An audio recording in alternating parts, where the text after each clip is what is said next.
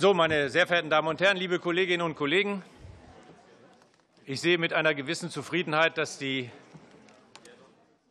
Plätze dann doch ausreichend sind, was von Anfang an nicht klar war.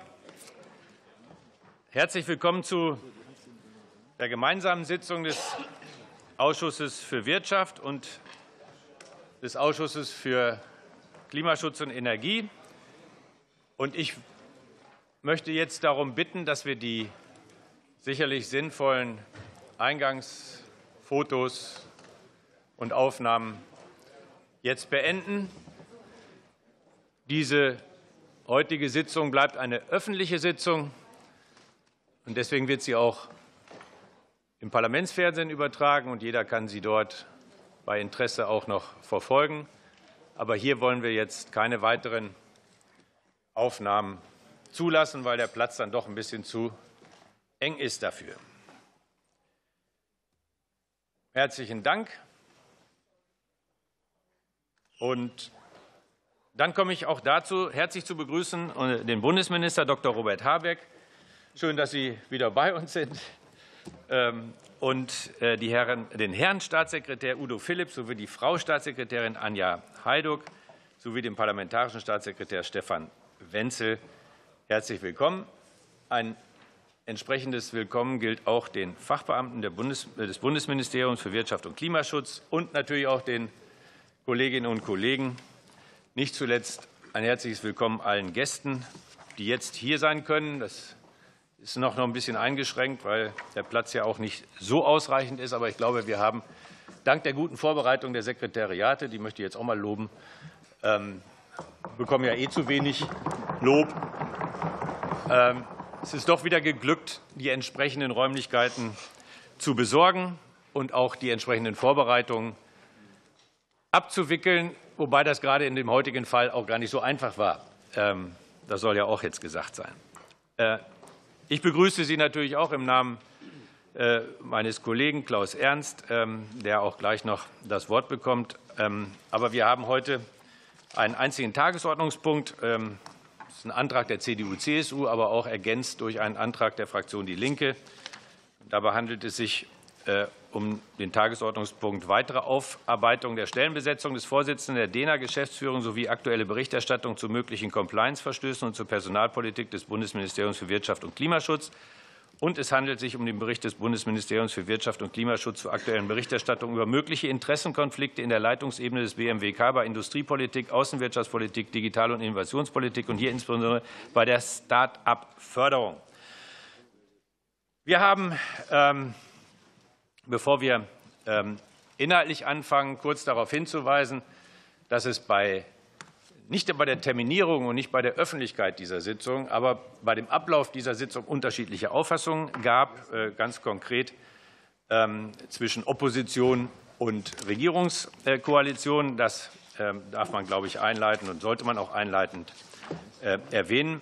Ähm, der Kollege Ernst und ich waren sehr dafür, das Befragungsformat der letzten Woche auch heute anzuwenden mit entsprechenden äh, Runden vier Minuten Fragemöglichkeit für die einzelnen Kollegen. Wir haben gestern ein Schreiben bekommen ähm, äh, aus der Fraktion äh, der Grünen, ähm, dass heute nicht wie in der letzten Woche dieses Befragungsformat auch einzeln mit der direkten Befragung durchgeführt werden soll, sondern so wurde es dann auch entsprechend beantragt in unseren gemeinsamen Ausschüssen, ähm, dass jetzt Fragen gesammelt werden sollen und nicht mehr vier Minuten Zeit dafür besteht, sondern nur noch eine Minute. Das heißt, wir können jetzt danach nicht mehr direkt jemanden befragen, sondern wir sammeln jetzt von allen Fraktionen jeweils Fragen, die dann auch geschlossen beantwortet werden. Ich will das vielleicht einleitend sagen. Ich habe da die Wortmeldung gesehen von dem Kollegen Jung. Ähm, das Herr Kollege Meiser hat sich auch gemeldet. Ich will nur eingeigend sagen, dass wir das auch im Wirtschaftsausschuss und soweit ich weiß auch im Parallelausschuss, äh, auch was die Abläufe des, äh, der heutigen Sitzung betrifft, ähm, diskutiert haben, äh, auch mit Blick auf die Geschäftsordnung des Bundestages. Ich sollte erwähnen, dass eine erste Prüfung ergeben hat, dass man wie immer auch unterschiedliche Interpretationen ähm, durchführen kann, dass aber keine offensichtliche wie heißt das, Rechts, Unzu keine offensichtliche Unzulässigkeit dieses Beschlusses gibt. Äh, insofern werden wir als Vorsitzende, die wir Wert darauf legen müssen, dass die Sitzung ordnungsgemäß abläuft, ähm, dann auch diese Beschlüsse, so wie sie gefasst sind, dann jetzt ähm, auch umzusetzen haben. Also statt vier Minuten werden wir jetzt dann lediglich eine Minute lang die Fragen haben und dann nicht direkt, sondern einzeln ähm, äh, gesammelt. Und nicht einzeln, sondern gesammelt. So ist der Beschluss, der beantragt wurde von der Ampel. Und ähm, dafür gab es auch eine Mehrheit in den jeweiligen Ausschüssen. Äh, ich darf das, glaube ich, sagen, dass der Kollege Ernst und ich, ähm, nachdem wir gestern davon Kenntnis von dieser Änderung erlangt haben, auch die Obleute angeschrieben haben und mitgeteilt haben, dass wir das ähm, für eine inakzeptable Beschränkung der Fragemöglichkeiten halten. Das ist unsere Auffassung. Das wird das haben die Beschlüsse gezeigt in den jeweiligen Ausschüssen, jedenfalls von den Fraktionen der Regierung ähm, oder der regierungstragenden Fraktion anders gesehen. Und deswegen ist es so beschlossen worden. Ähm, das nur mal einleitend zu dem bisherigen Verfahren. Ich habe jetzt Wortmeldungen dazu von dem. Also vielleicht der Kollege Ernst noch als Ergänzung dazu, bevor wir dann die Wortmeldung, die wir jetzt haben, dazu aufrufen. Ja, ich wollte es noch ergänzen. Ich habe das auch sehr bedauert, weil das Verfahren, das wir beim letzten Mal gewählt haben, eigentlich ein sehr effektives und ausführliches Verfahren war und vor allen Dingen dazu geführt hat, dass die Fragen auch einzeln beantwortet wurden, die gestellt wurden. Das ist jetzt schwieriger. Wir werden das so verfahren, aber ich glaube, wir beide werden dann auch darauf achten, weil es ja sechs Fragen hintereinander sein werden, die gestellt werden, dass auch jede Frage beantwortet wird und gegebenenfalls auch noch mal darauf hinweisen, dass vielleicht noch eine Frage offen ist, sodass wir ein einigermaßen äh, äh vernünftiges Verfahren dann gemeinsam hinkriegen. Ich glaube, das ist dann auch im Interesse aller. Äh, ja, ansonsten hoffe ich, dass wir das wieder genauso vernünftig durchführen können wie beim letzten Mal. Und wir können dann, Michael, in die entsprechenden Redewünsche einsteigen. Ja, soweit ich das gesehen habe, habe ich jetzt die Meldung der Kollegen Jung, Meiser und Holm. Äh, Andreas Jung bekommt das Wort. Ja, sehr geehrte Herren Vorsitzende, liebe Kolleginnen und Kollegen. Robert Habeck hat in der vergangenen Sitzung, in unserer gemeinsamen Ausschusssitzung und auch im Plenum erklärt, dass er bereit ist, öffentlich umfassend zu allen Fragen ähm, hier äh, Rede und Antwort zu stehen. In der letzten Sitzung war es dann aber so, dass die Mehrheit der Ampelfraktionen gegen die Öffentlichkeit gestimmt hat. Diesmal wurde unserem Antrag auf Öffentlichkeit entsprochen. Sie wollen aber das Fragerecht beschneiden. Das Fragerecht ist ein parlamentarisches Kernrecht. Ich teile und meine Fraktion teilt ausdrücklich, ausdrücklich die Auffassung der beiden Vorsitzenden, dass wir genauso, wie wir es in der letzten Sitzung gemacht haben, heute wieder verfahren sollten. Vier Runden mit vier Minuten mit der Möglichkeit, den Herrn Minister und die Staatssekretäre direkt zu befragen. Frage und Antwort. Sie wollen stattdessen allgemeine Debattenrunden der Fraktionen und keine direkten Fragen. Sie wollen statt vier mal vier äh, vier Minuten in vier Runden wollen Sie eine Minute. Das sind 75 Prozent weniger Zeit als das letzte Mal. Also Sie wollen die Sie wollen die Zeit ganz erheblich beschneiden und Sie wollen die direkte Fragemöglichkeit nicht zulassen. Damit beschneiden Sie parlamentarische Rechte. Wer für, für Transparenz stehen möchte, der muss für Transparenz stimmen. Ich stelle für unsere Fraktion den Antrag, dass wir dasselbe Verfahren wählen wie in der vergangenen Sitzungswochen. Vier Runden mit vier Minuten pro Fraktion mit der Möglichkeit, direkt zu fragen und direkt Antworten zu bekommen. Wir müssen dabei berücksichtigen, dass wir in den jeweiligen Ausschüssen schon abgestimmt haben. Aber äh, jetzt kommt der Kollege Meiser, der das Wort hat. Ja, vielen Dank, Herr Vorsitzender. Ziel der heutigen Sitzung, so habe ich alle Fraktionen verstanden, sollte ja sein, für größtmögliche Aufklärung und Transparenz zu sorgen. Deswegen begrüßen wir als Link auch ausdrücklich, dass die heutige Sitzung anders als beim letzten Mal öffentlich stattfindet. Umso unverständlicher ist es mir allerdings auch, warum die Ampelkoalition mit ihrer Mehrheit heute hier durchsetzen will, dass das beim letzten Mal bewährte Verfahren, dass ein Abgeordneter in der Wahrnehmung seiner parlamentarischen Kontrollpflichten und Rechte den Minister und die Staatssekretäre nicht direkt befragen und direkt Antwort darauf bekommen kann. Ich habe auch in den Debatten, die wir ja schon hatten dazu, kein einziges Argument gehört, warum das sich beim letzten Mal nicht bewährt haben solle. Der einzige Unterschied heute ist es öffentlich. Und ich meine, da stellt sich doch die Frage, warum tun Sie das? Also ich würde sagen, Sie schießen sich ein großes Eigentor. Aber warum, warum tun Sie es denn? Ist denn da, also Sie erwecken doch den Anschein, Sie hätten mit der direkten Frage und Antwort ein Problem oder Herr Minister Habeck oder die Staatssekretäre hätten ein Problem damit. Ich habe beim letzten Mal nicht den Eindruck, dass dem so war. Warum tun Sie das heute so? Ich kann es einfach nicht nachvollziehen. Direkte Frage, direkte Antwort, das wäre der richtige Weg. Deswegen unterstützen wir auch den Vorschlag der Unionsfraktion.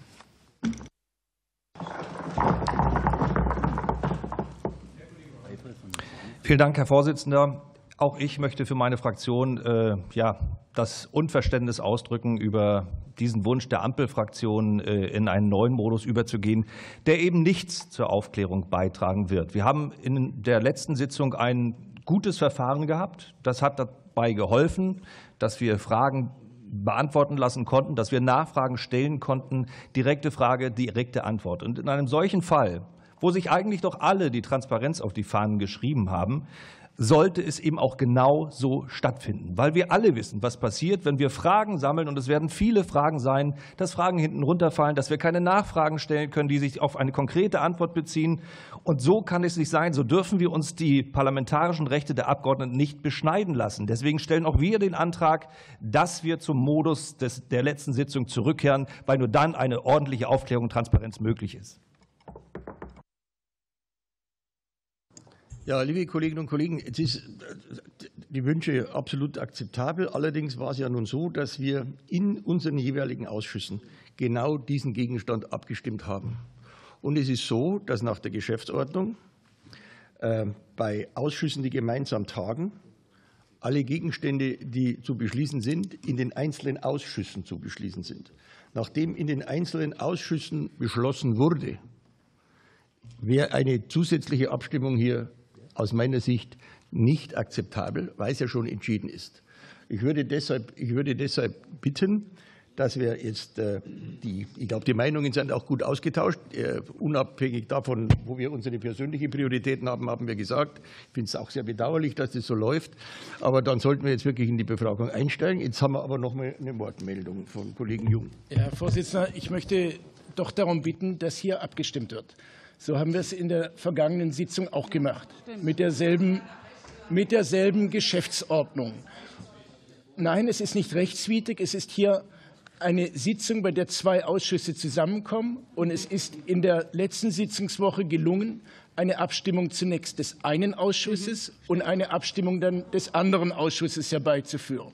Und ich möchte schon bitten, dass hier öffentlich, das möchten Sie ja vermeiden, in der nicht öffentlichen Sitzung haben Sie diese Anträge abgelehnt. Und jetzt in der öffentlichen Sitzung möchten Sie noch nicht mal dazu Stellung nehmen. Ich stelle fest, es gibt keinen einzigen, der jetzt ein valides Argument dagegen vorgebracht hat. Sie möchten noch nicht mal da, dazu Stellung nehmen. Erklären Sie uns bitte, warum möchten Sie Frage und Antwort nicht zulassen? Robert Habeck ist dazu bereit. Er hat es das letzte Mal nicht nur gemacht, er hat das letzte Mal die Bereitschaft erklärt. Und Sie möchten noch nicht mal dazu Stellung nehmen. Sie möchten noch nicht mal dazu abstimmen. Ich beantrage, dass es getrennte Abstimmung der beiden Ausschüsse zu unserem Antrag gibt. Also der Hinweis, dass die ja schon stattgefunden haben in den Ausschüssen, ist natürlich richtig. Ich habe jetzt zwei Wortmeldungen, die Kollegin Badum für die Bündnis 90 Die Grünen und der Kollege Komning für die AfD. Und dann würde ich auch empfehlen, dass wir dann vielleicht auch die Zeit nutzen, um dann in die Befragung einzusteigen. So. Naja, auch, auch wenn ich mir eine andere Art der Befragung wünschen würde. Äh, das nutze ich, das nutze ich jetzt, wo ich gerade Beifall bekommen habe. Also die Kollegin Badum, wo ist sie? Ja, bitteschön. Sie ja, Herr, Herr Vorsitzender, ich stimme Ihnen völlig zu. Äh, wir sollten die Fragerunde einsteigen. Es ist ein ähm, bewährtes Verfahren, äh, sozusagen Debattenrunden zu machen. Das kennen wir alle. Darf ich kurz ausreden, bitte? Das kennen wir alle aus unseren Ausschüssen. Es wird Frage und Antwort geben. Und die Vorsitzenden werden selbstverständlich nachhaken, wenn Fragen auch nicht beantwortet sind. Wir haben hier für völlige Transparenz gesorgt. Die Sitzung ist öffentlich, ist über den Livestream erhältlich. Alle Ihre Fragen können heute geklärt werden. Und ähm, deswegen schlage ich jetzt vor, dass wir in das Verfahren entsprechend noch einsteigen. Herr Kollege Komning, bitte. Ja, vielen Dank, Herr Vorsitzender. Vielleicht noch mal abschließend aus äh, juristischer Sicht. Bisher wurde ja immer politisch argumentiert und auf, äh, das, äh, auf die Transparenz abgestellt. Ich habe es vorhin schon im Wirtschaftsausschuss gesagt. Wir haben eine Geschäftsordnung. Diese Geschäftsordnung gilt zunächst. Man kann von dieser Geschäftsordnung abweichen, wenn sich alle darüber einig sind, dass davon abgewichen wird. Wenn sich nicht alle einig sind darüber, dann gilt die Geschäftsordnung. Punkt. Und dann kann nicht darüber abgestimmt werden, wie ein Prozedere, das in der Geschäftsordnung festgelegt ist, wo im Übrigen auch die Minderheitenrechte der Oppositionsfraktionen berücksichtigt sind. Die, da kann die Geschäftsordnung nicht mit einer Mehrheit des Ausschusses einfach außer Kraft gesetzt werden. Das geht so nicht. Das ist rechtlich nicht zulässig. Deswegen nochmal, ähm, die Abstimmungen äh, sind vorhin so verlaufen, dass kein Einvernehmen hergestellt wurde. Und deswegen gilt die Geschäftsordnung. Und deswegen muss aus meiner Sicht auch so der Ablauf dieser Sitzungen verlaufen, wie die Geschäftsordnungen es vorsehen, nämlich unter Berücksichtigung der Minderheitenrechte. Anderenfalls, das ist mein letztes Wort, anderenfalls könnte ja die Mehrheit des Ausschusses einfach sagen, ach, die Opposition, die kriegt nur 20 Sekunden Fragerecht. Ja, das geht aber auch nicht. Deswegen gibt es die Geschäftsordnung mit der Beachtung der Minderheitenrechte. Danke. Ja, ich glaube, wir haben ja auch im Wirtschaftsausschuss da ausführlich darüber diskutiert und ist ja auch deutlich geworden, dass ich von dieser Argumentation ähm, eigentlich äh, auch sehr viel halte. Aber äh, eine überschlägige Prüfung dieses Beschlusses hat ergeben, dass keine offensichtliche Rechtswidrigkeit besteht. Insofern ist das auch so weit geklärt. Ja, wenn es Bedenken gibt, ich bin nun auch Jurist genug und ich war ja auch mal als Notar tätig. Also vielleicht glauben Sie mir, dann müssen wir jetzt, äh, weil wir ja auch irgendwann zur Befragung kommen wollen, mit all den Vorbehalten, die es rechtlich auch weiterhin geben wird und die ich teilweise auch teile, dann müssen wir das nachträglich äh, überlegen, welche Auswirkungen das haben kann. Ich schlage nur vor, dass wir jetzt wenn auch mit einer verkürzteren Zeit und in einem anderen Format dazu kommen, die Bundesregierung zu befragen. Wenigstens das sollten wir jetzt machen, auch wenn die Opposition geschlossen sich wünscht, dass wir das in einem anderen Verfahren in einer längeren Zeit hätten durchführen können. Das ist jedenfalls mein Vorschlag jetzt. Und deswegen haben wir das sowohl in den Ausschüssen, wie es im Übrigen in der Geschäftsordnung dann vorgesehen ist, jeweils entschieden mit Mehrheit durch die Ampel, dass es jetzt so sein soll, wie es ist, in Abweichung zu der, wie ich finde, auch guten Vorgehensweise in der letzten Woche, die dann nicht öffentlich war. Aber wie auch immer, ich denke, wir kommen jetzt mal dazu, dass wir auch in die Befragung eintreten. Und deswegen ähm, wird es so sein, dass wir dann jetzt eine Minute lang jede Fraktion die Möglichkeit hat, eine Frage zu stellen. Und wir machen dann jeweils eine Runde der Fraktionen durch und dann wird entsprechend geantwortet. Wir beginnen bei diesen zwei Runden abwechselnd mit den Mitgliedern des Wirtschaftsausschusses und kommen dann zu den Mitgliedern des Ausschusses für Klimaschutz und Energie. Vorher, wenn es gewünscht wird, würde ich dem Herrn Bundesminister noch das Wort geben für eine kurze Einleitung, falls das noch erforderlich ist. Und dann beginnen wir mit den Fragen. Die Herr Vorsitzenden, sehr geehrte Damen und Herren, liebe Kolleginnen, liebe Kollegen, ja, ich würde gerne einen Aspekt der ja doch sehr breiten Titelgebung rausarbeiten. Ein Aspekt nur, weil ich sonst zu lange reden würde. Und ich möchte ihn gerne politisch ähm, einordnen oder kommentieren. Und das ist der Aspekt von Finanzbeteiligung beziehungsweise möglichen Interessenkonflikten. Alle anderen Fragen, Patrick Reichen, Dena und so weiter, dann natürlich gerne in der bewährten Dialogrunde.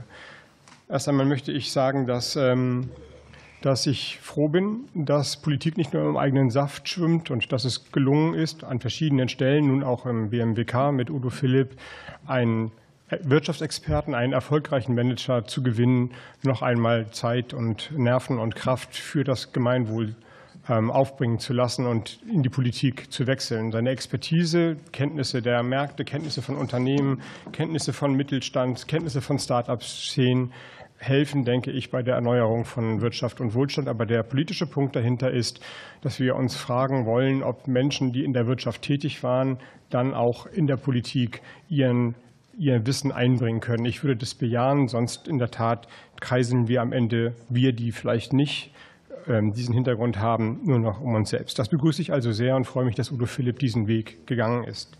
Ich möchte kurz nur kurz darauf hinweisen, was der Rechtsrahmen für Finanzbeteiligung oder Finanzgeschäfte insgesamt ist. Zu nennen ist einmal die Marktmissbrauchsverordnung der Europäischen Union. Die verbietet Insidergeschäfte und Marktmanipulation. Wie jede Verordnung geht es detailreich weiter, aber das ist sozusagen der allgemeine große Rechtsrahmen. Neben dem Dienstrecht für Beamten, dort ist zu nennen einschlägig der Paragraph 61, der sagt, dass das Amt nach bestem Wissen und Gewissen uneigennützig zu führen ist. Dann gibt es eine Reihe von konkreten Ausarbeitungen und Hinweisen für die Bundesregierung. Da hat sich meiner Kenntnis nach in dieser Legislatur nichts geändert. Das heißt also, das BMWK, damals BMWI, arbeitet entlang der Compliance-Verordnung, Vorschriften, Leitfäden der alten Bundesregierung, die immer federführend von BMI, also dem Innenministerium, ausgearbeitet wird und dann natürlich für die anderen Häuser gilt. Umgesetzt werden sie dann jeweils in Schulungen, in Handreichungen in den Häusern individuell. Auch die Referatsaufstellung in den Häusern Compliance-Referat, wie bei uns im Ministerium vorhanden, erfolgt dann entlang der Aufstellung des Hauses. Da hat sich in meinem Haus seit der ähm, Amtsübernahme vor wie viel 16, 17 Monaten formal nichts geändert. Diese Rechtsnormen sagen alle, dass Interessenskonflikte zu vermeiden sind und sie definieren über die verschiedenen juristischen Ausformulierungen Interessen im Grunde so, dass dienstliches Handeln nicht dem, von einem privaten Interesse geleitet werden darf. Das ist also die Frage, die heute dann im Raum steht. Dienstliches Handeln darf nicht von einem privaten Interesse geleitet werden. Das wäre dann sozusagen das, was verboten ist in den verschiedenen Ausformulierungen. Sie sagen wiederum nicht, dass man als Beamter oder als Mitglied eines Parlaments sich nicht in Fonds oder in Gesellschaften engagieren darf. Noch nicht mal sagen Sie, dass es anzeigepflichtig ist oder transparent gemacht werden muss. Und das hat Udo Philipp getan. Er hat also mehr getan, bei Amtsantritt und dann jetzt auch in den Nachfragen als eigentlich diese Normen vorgeben. Der politische Punkt, auf den ich hinaussteuern wollte, ist, dass wir, wenn wir politische Entscheidungen treffen, natürlich immer auch Entscheidungen über die Wirtschaft oder über wirtschaftliche Perspektiven treffen. Und dass uns das allen bewusst sein muss, und wenn man das in Frage stellt, man über die Regelsetzung insgesamt reden darf. Ich möchte ein paar Beispiele nennen von verschiedenen. Die Handelspolitik, häufig diskutiert, jedenfalls im Wirtschaftsausschuss, eröffnet Unternehmen neue Marktzugänge, logischerweise. Wenn man Fonds hat, sind in den Fonds Aktien. Diese Aktien bilden Unternehmen ab und diese Unternehmen mögen davon profitieren. Wenn wir den Wirtschaftsstabilisierungsfonds aufstellen bei Corona oder auch in den Zeiten danach, beispielsweise die Lufthansa retten, ein Vorgang aus der letzten Legislaturperiode, mag es sein, dass Abgeordnete oder Beamte oder Staatssekretäre in der letzten Legislaturperiode Fonds hatten, in denen die Lufthansa drin war. Wenn wir über Gesundheitspolitik oder Digitalisierungspolitik diskutieren, mag es sein, dass in Fonds Aktien von Unternehmen drin sind, die davon profitieren. Wenn wir die Ukraine militärisch unterstützen, mag es sein, dass in irgendwelchen Fonds auch Aktien von Rüstungsunternehmen sind, die davon unterstützen, davon profitieren. Ich will damit also sagen, die Rechtsnorm, wie unser tätiges Handeln, führt zu diesen Fragen, logischerweise. Die Frage, die im Raum steht, ist aber, ist unser Handeln geleitet von der privaten Interessenswahrnehmung? Das ist die Frage, die beantwortet werden muss. Und für Udo Philipp, ich hoffe, das können wir in den Befragungen dann klar machen, kann ich sie dann klar verneinen. Ich will für meine Seite gerne sagen, dass wir, wenn uns das nicht reicht, die Regeln überprüfen können, gegebenenfalls anschärfen können. Es gibt andere Beispiele. Das Europäische Parlament und die Europäische Kommission hat weit strengere Transparenzvorschriften, auch für die Abgeordneten, wo dann die Fonds öffentlich gemacht werden müssen oder jedenfalls für die Kommissionsmitglieder. Die französische Regierung oder die französische Kultur schreibt vor, dass nicht nur Anteile an Finanzfonds, sondern auch privates Vermögen, also Häuser, Wohnungen und private Schuld öffentlich gemacht werden muss. Denn es mag ja auch Interessenkonflikte da geben. Wer viele Wohnungen hat, mag möglicherweise beeinflusst sein, wenn es um Mietpreisbremsen geht. Wer Eigentum besitzt oder erwerben will, mag möglicherweise beeinflusst sein davon, wenn es um Grunderwerbsbesteuerungsfragen geht. Und wer private Schuld hat, das ist vielleicht der größte Moment, wo man denken kann, naja, da kann es ja eine Abhängigkeit geben, der mag möglicherweise auch dort äh, eine Art Befangenheit haben. Ich will damit sagen, wenn wir das Gefühl haben, dass diese in der Natur der Sache stehende Interessensüberschneidung weiter aufgeklärt werden muss, dann lassen Sie uns über Regelnverschärfung reden. Dann allerdings über Regelverschärfung für alle für alle Ministerien, für alle, die davon betroffen sind, für alle, die sich im Parlament fragen müssen, ob sie der Transparenz Genüge führen. Was ich nicht richtig finde, ist hier ein, ein Einzelfallbeispiel zu exemplifizieren, nur weil ein Staatssekretär in diesem Fall aus der privaten Wirtschaft in die Politik gewechselt ist. Zu dieser Diskussion bin ich gerne bereit. Dankeschön. Herzlichen Dank, Herr Minister, für diese einleitenden Worte. Und dann kommen wir jetzt zu der ersten Fragerunde. Es beginnt äh, für die SPD ähm, Bernd Westphal. Vielen Dank, Herr Vorsitzender. Gut, dass wir jetzt zum Zweck der Sitzung kommen, zur Aufklärung von Sachverhalten. Äh, Herr Staatssekretär Philipp und auch das Bundeswirtschaftsministerium haben die Beteiligung an einigen Fonds veröffentlicht. Meine Fragen sind, hatten Sie Kenntnis bezüglich der Förderung eines der Unternehmen, nämlich African Green Tech, welches mit mehreren 10.000 Euro durch das Ministerium gefördert worden ist? Zweitens, waren Sie bei der Förderentscheidung beteiligt? Drittens, welche Rolle hatten Sie bei der Berufung von Mitgliedern des Beirates Junge Digitale Wirtschaft im Bundeswirtschaftsministerium, insbesondere bei der Berufung von Sebastian Böhmer, in dessen Fonds First Momentum Venture Sie ebenfalls investiert haben?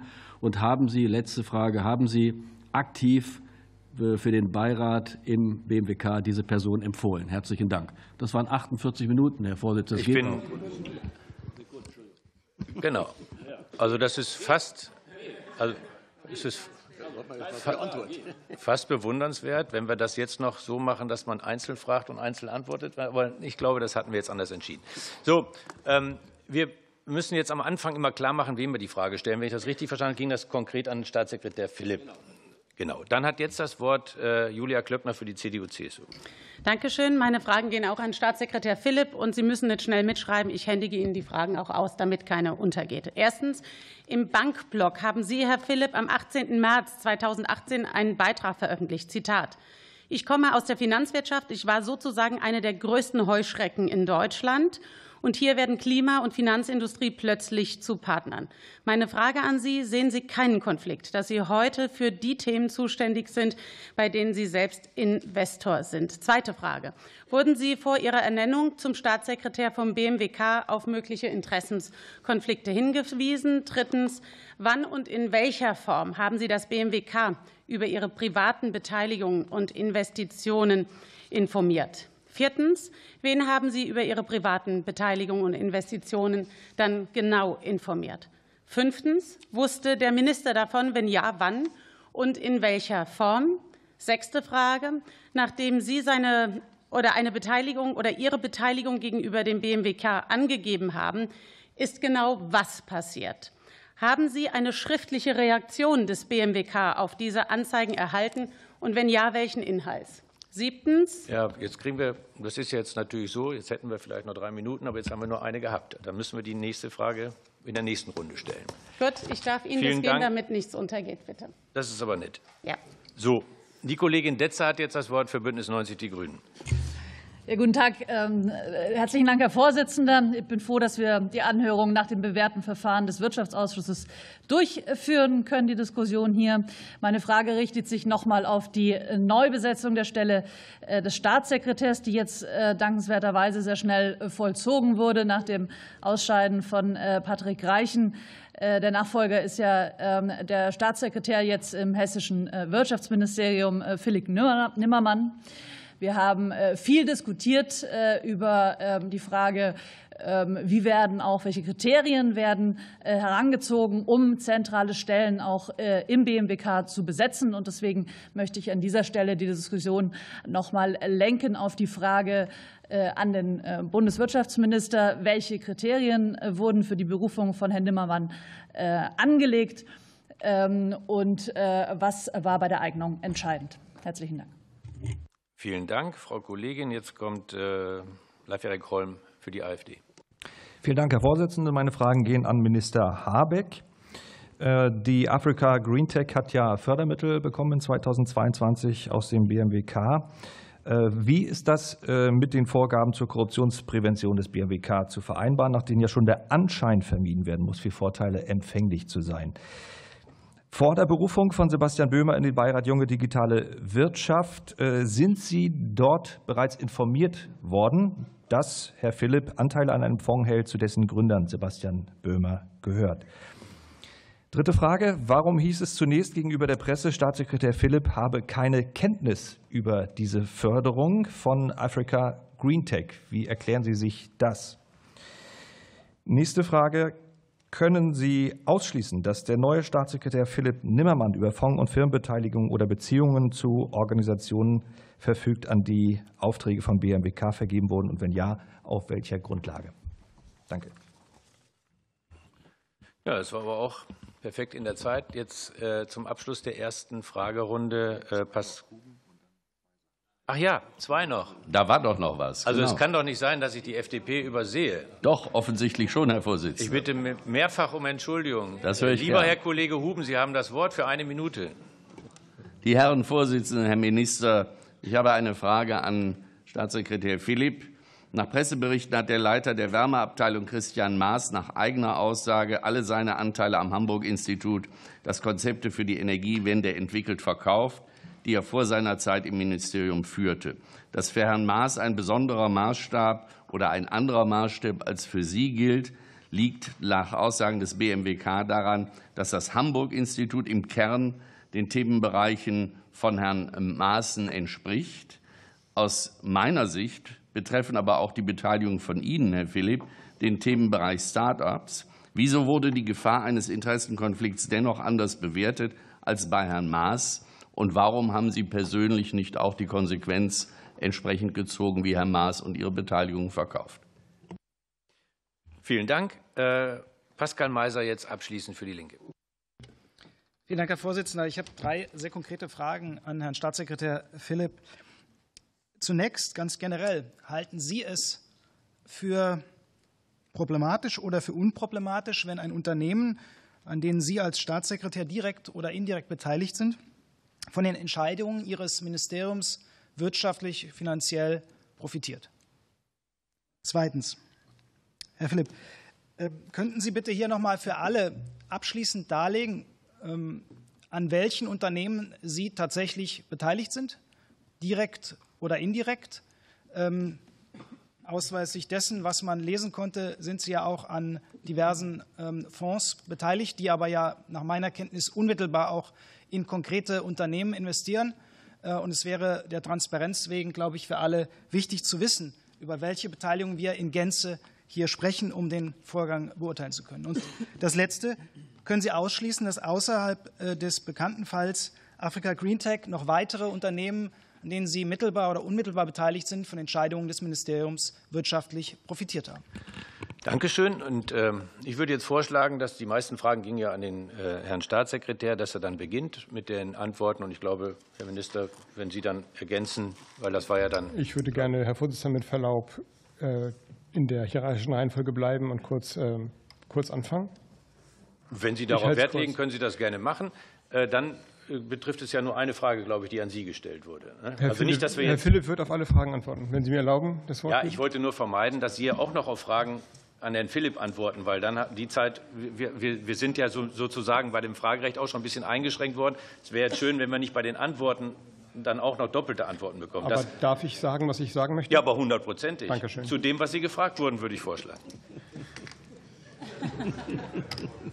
Dann erst einmal, ich äh, habe den derzeitigen Staatssekretär Nimmermann in Hessen nach der Trennung von Patrick Reichen gefragt, ob er sich vorstellen kann, nach Berlin zu gehen, weil er ein nach Bestätigung seiner bisherigen Minister und auch nach dem, was ich äh, weiß über ihn, ein Mann ist, der Prozesse sehr gut strukturieren kann, weil er ein zugänglicher Mensch ist, weil er sich schnell in Themen einarbeiten kann, weil er schnell zur Verfügung steht. Er ist ja schon im Staatsdienst, weil er ein sehr erfahrener Verwaltungschef ist und ein guter Kenner von Energiemärkten.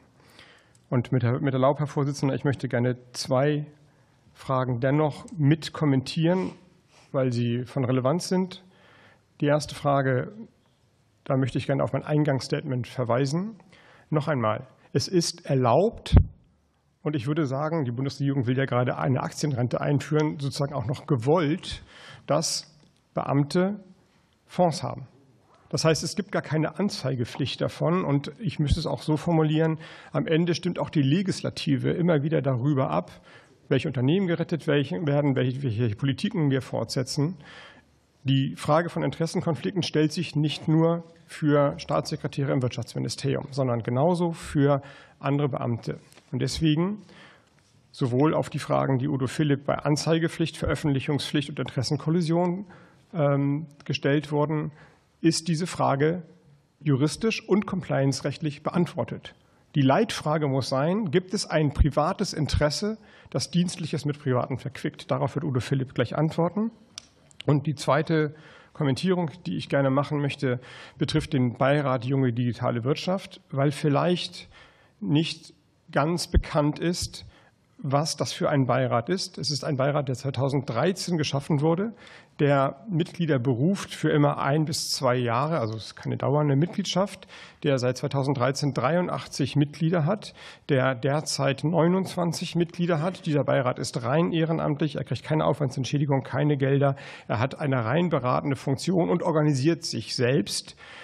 In diesem Beirat sind verschiedene Akteure. Und mir war es wichtig, mir war es wichtig, dass gerade weil wir da ein extremes Finanzproblem haben, dass aus den Start-up-Szenen heraus Gründerinnen und Gründer dabei sind und vor allem aus dem studentischen Milieu hinaus, denn das werden Sie politisch einordnen können. Da haben wir viel Wissen, aber wir können es nicht in wirtschaftliche Tätigkeit häufig genug übersetzen. Deswegen wussten meine Staatssekretäre und die äh, Beamten im Haus, dass meine Vorgabe war, sucht dort Leute, die auch Unternehmensgründung aus den Unis heraus ähm, machen können. Und Udo Philipp hat dann Namen genannt. Dazu gehörte dann auch Herr Böhmer. Herr Böhmer ist seit fünf Jahren Start-up-Gründer, ein Student für Studenten, inzwischen nicht mehr Student, aber es ist eine studentische Start-up-Firma, wenn Sie so wollen, für Studierende.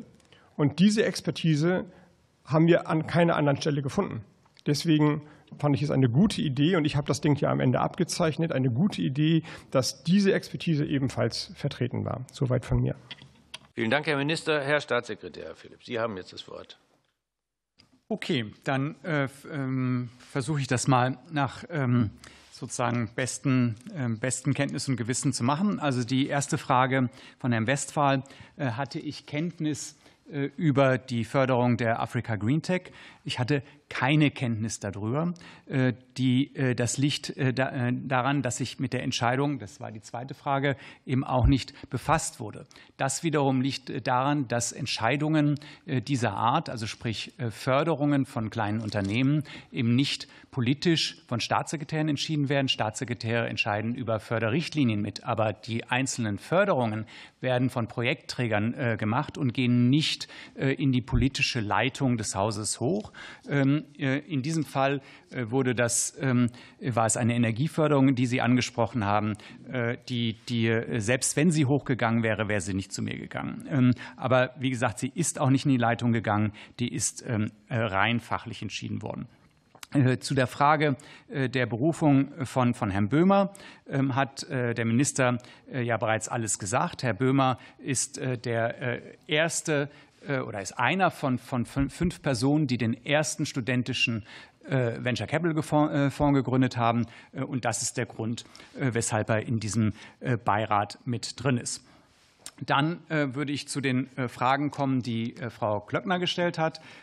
Die ähm, äh, Sie haben ja gesagt, ich hätte äh, eben äh, komme aus der Wirtschaft sozusagen und ich habe mich in der Tat einmal selbstironisch als Heuschrecke bezeichnet. Wie Sie wissen, kommt diese Bezeichnung, Sie wissen, von wem die kommt.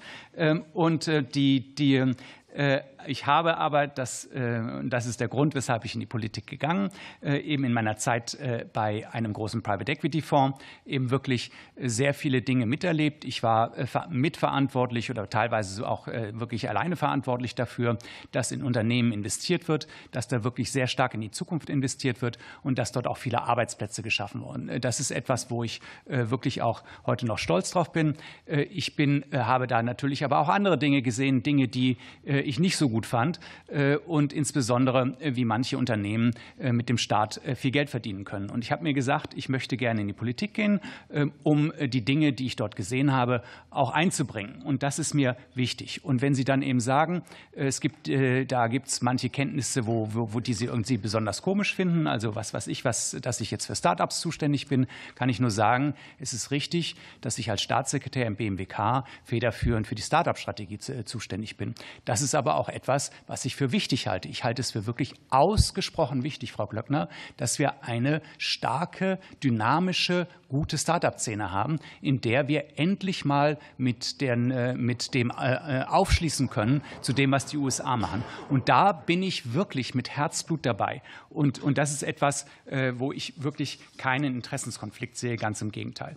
Ähm, dann wurde ich vor meiner Ernennung zum Staatssekretär vom BMWK auf mögliche Interessenskonflikte hingewiesen. Es gibt selbstverständlich ähm, ein Begrüßungspaket, wo alle Dinge drinstehen. Ich kann Ihnen aber sagen, ich habe ich glaube, es war ungefähr eine Woche, äh, bevor ich äh, ins Ministerium ging, dass äh, die Compliance-Abteilung, also um genau zu sein, die Zentralabteilung des Ministeriums, in denen dann irgendwo dann auch das Compliance-Referat ist, kontaktiert und habe darauf hingewiesen, dass ich ähm, unter direkte Unternehmensbeteiligung habe, dass ich äh, an Fonds beteiligt bin und dass ich Aktien halte, die über sogenannte ähm, Vermögensverwaltungsmandate äh, sozusagen ähm, verwaltet werden.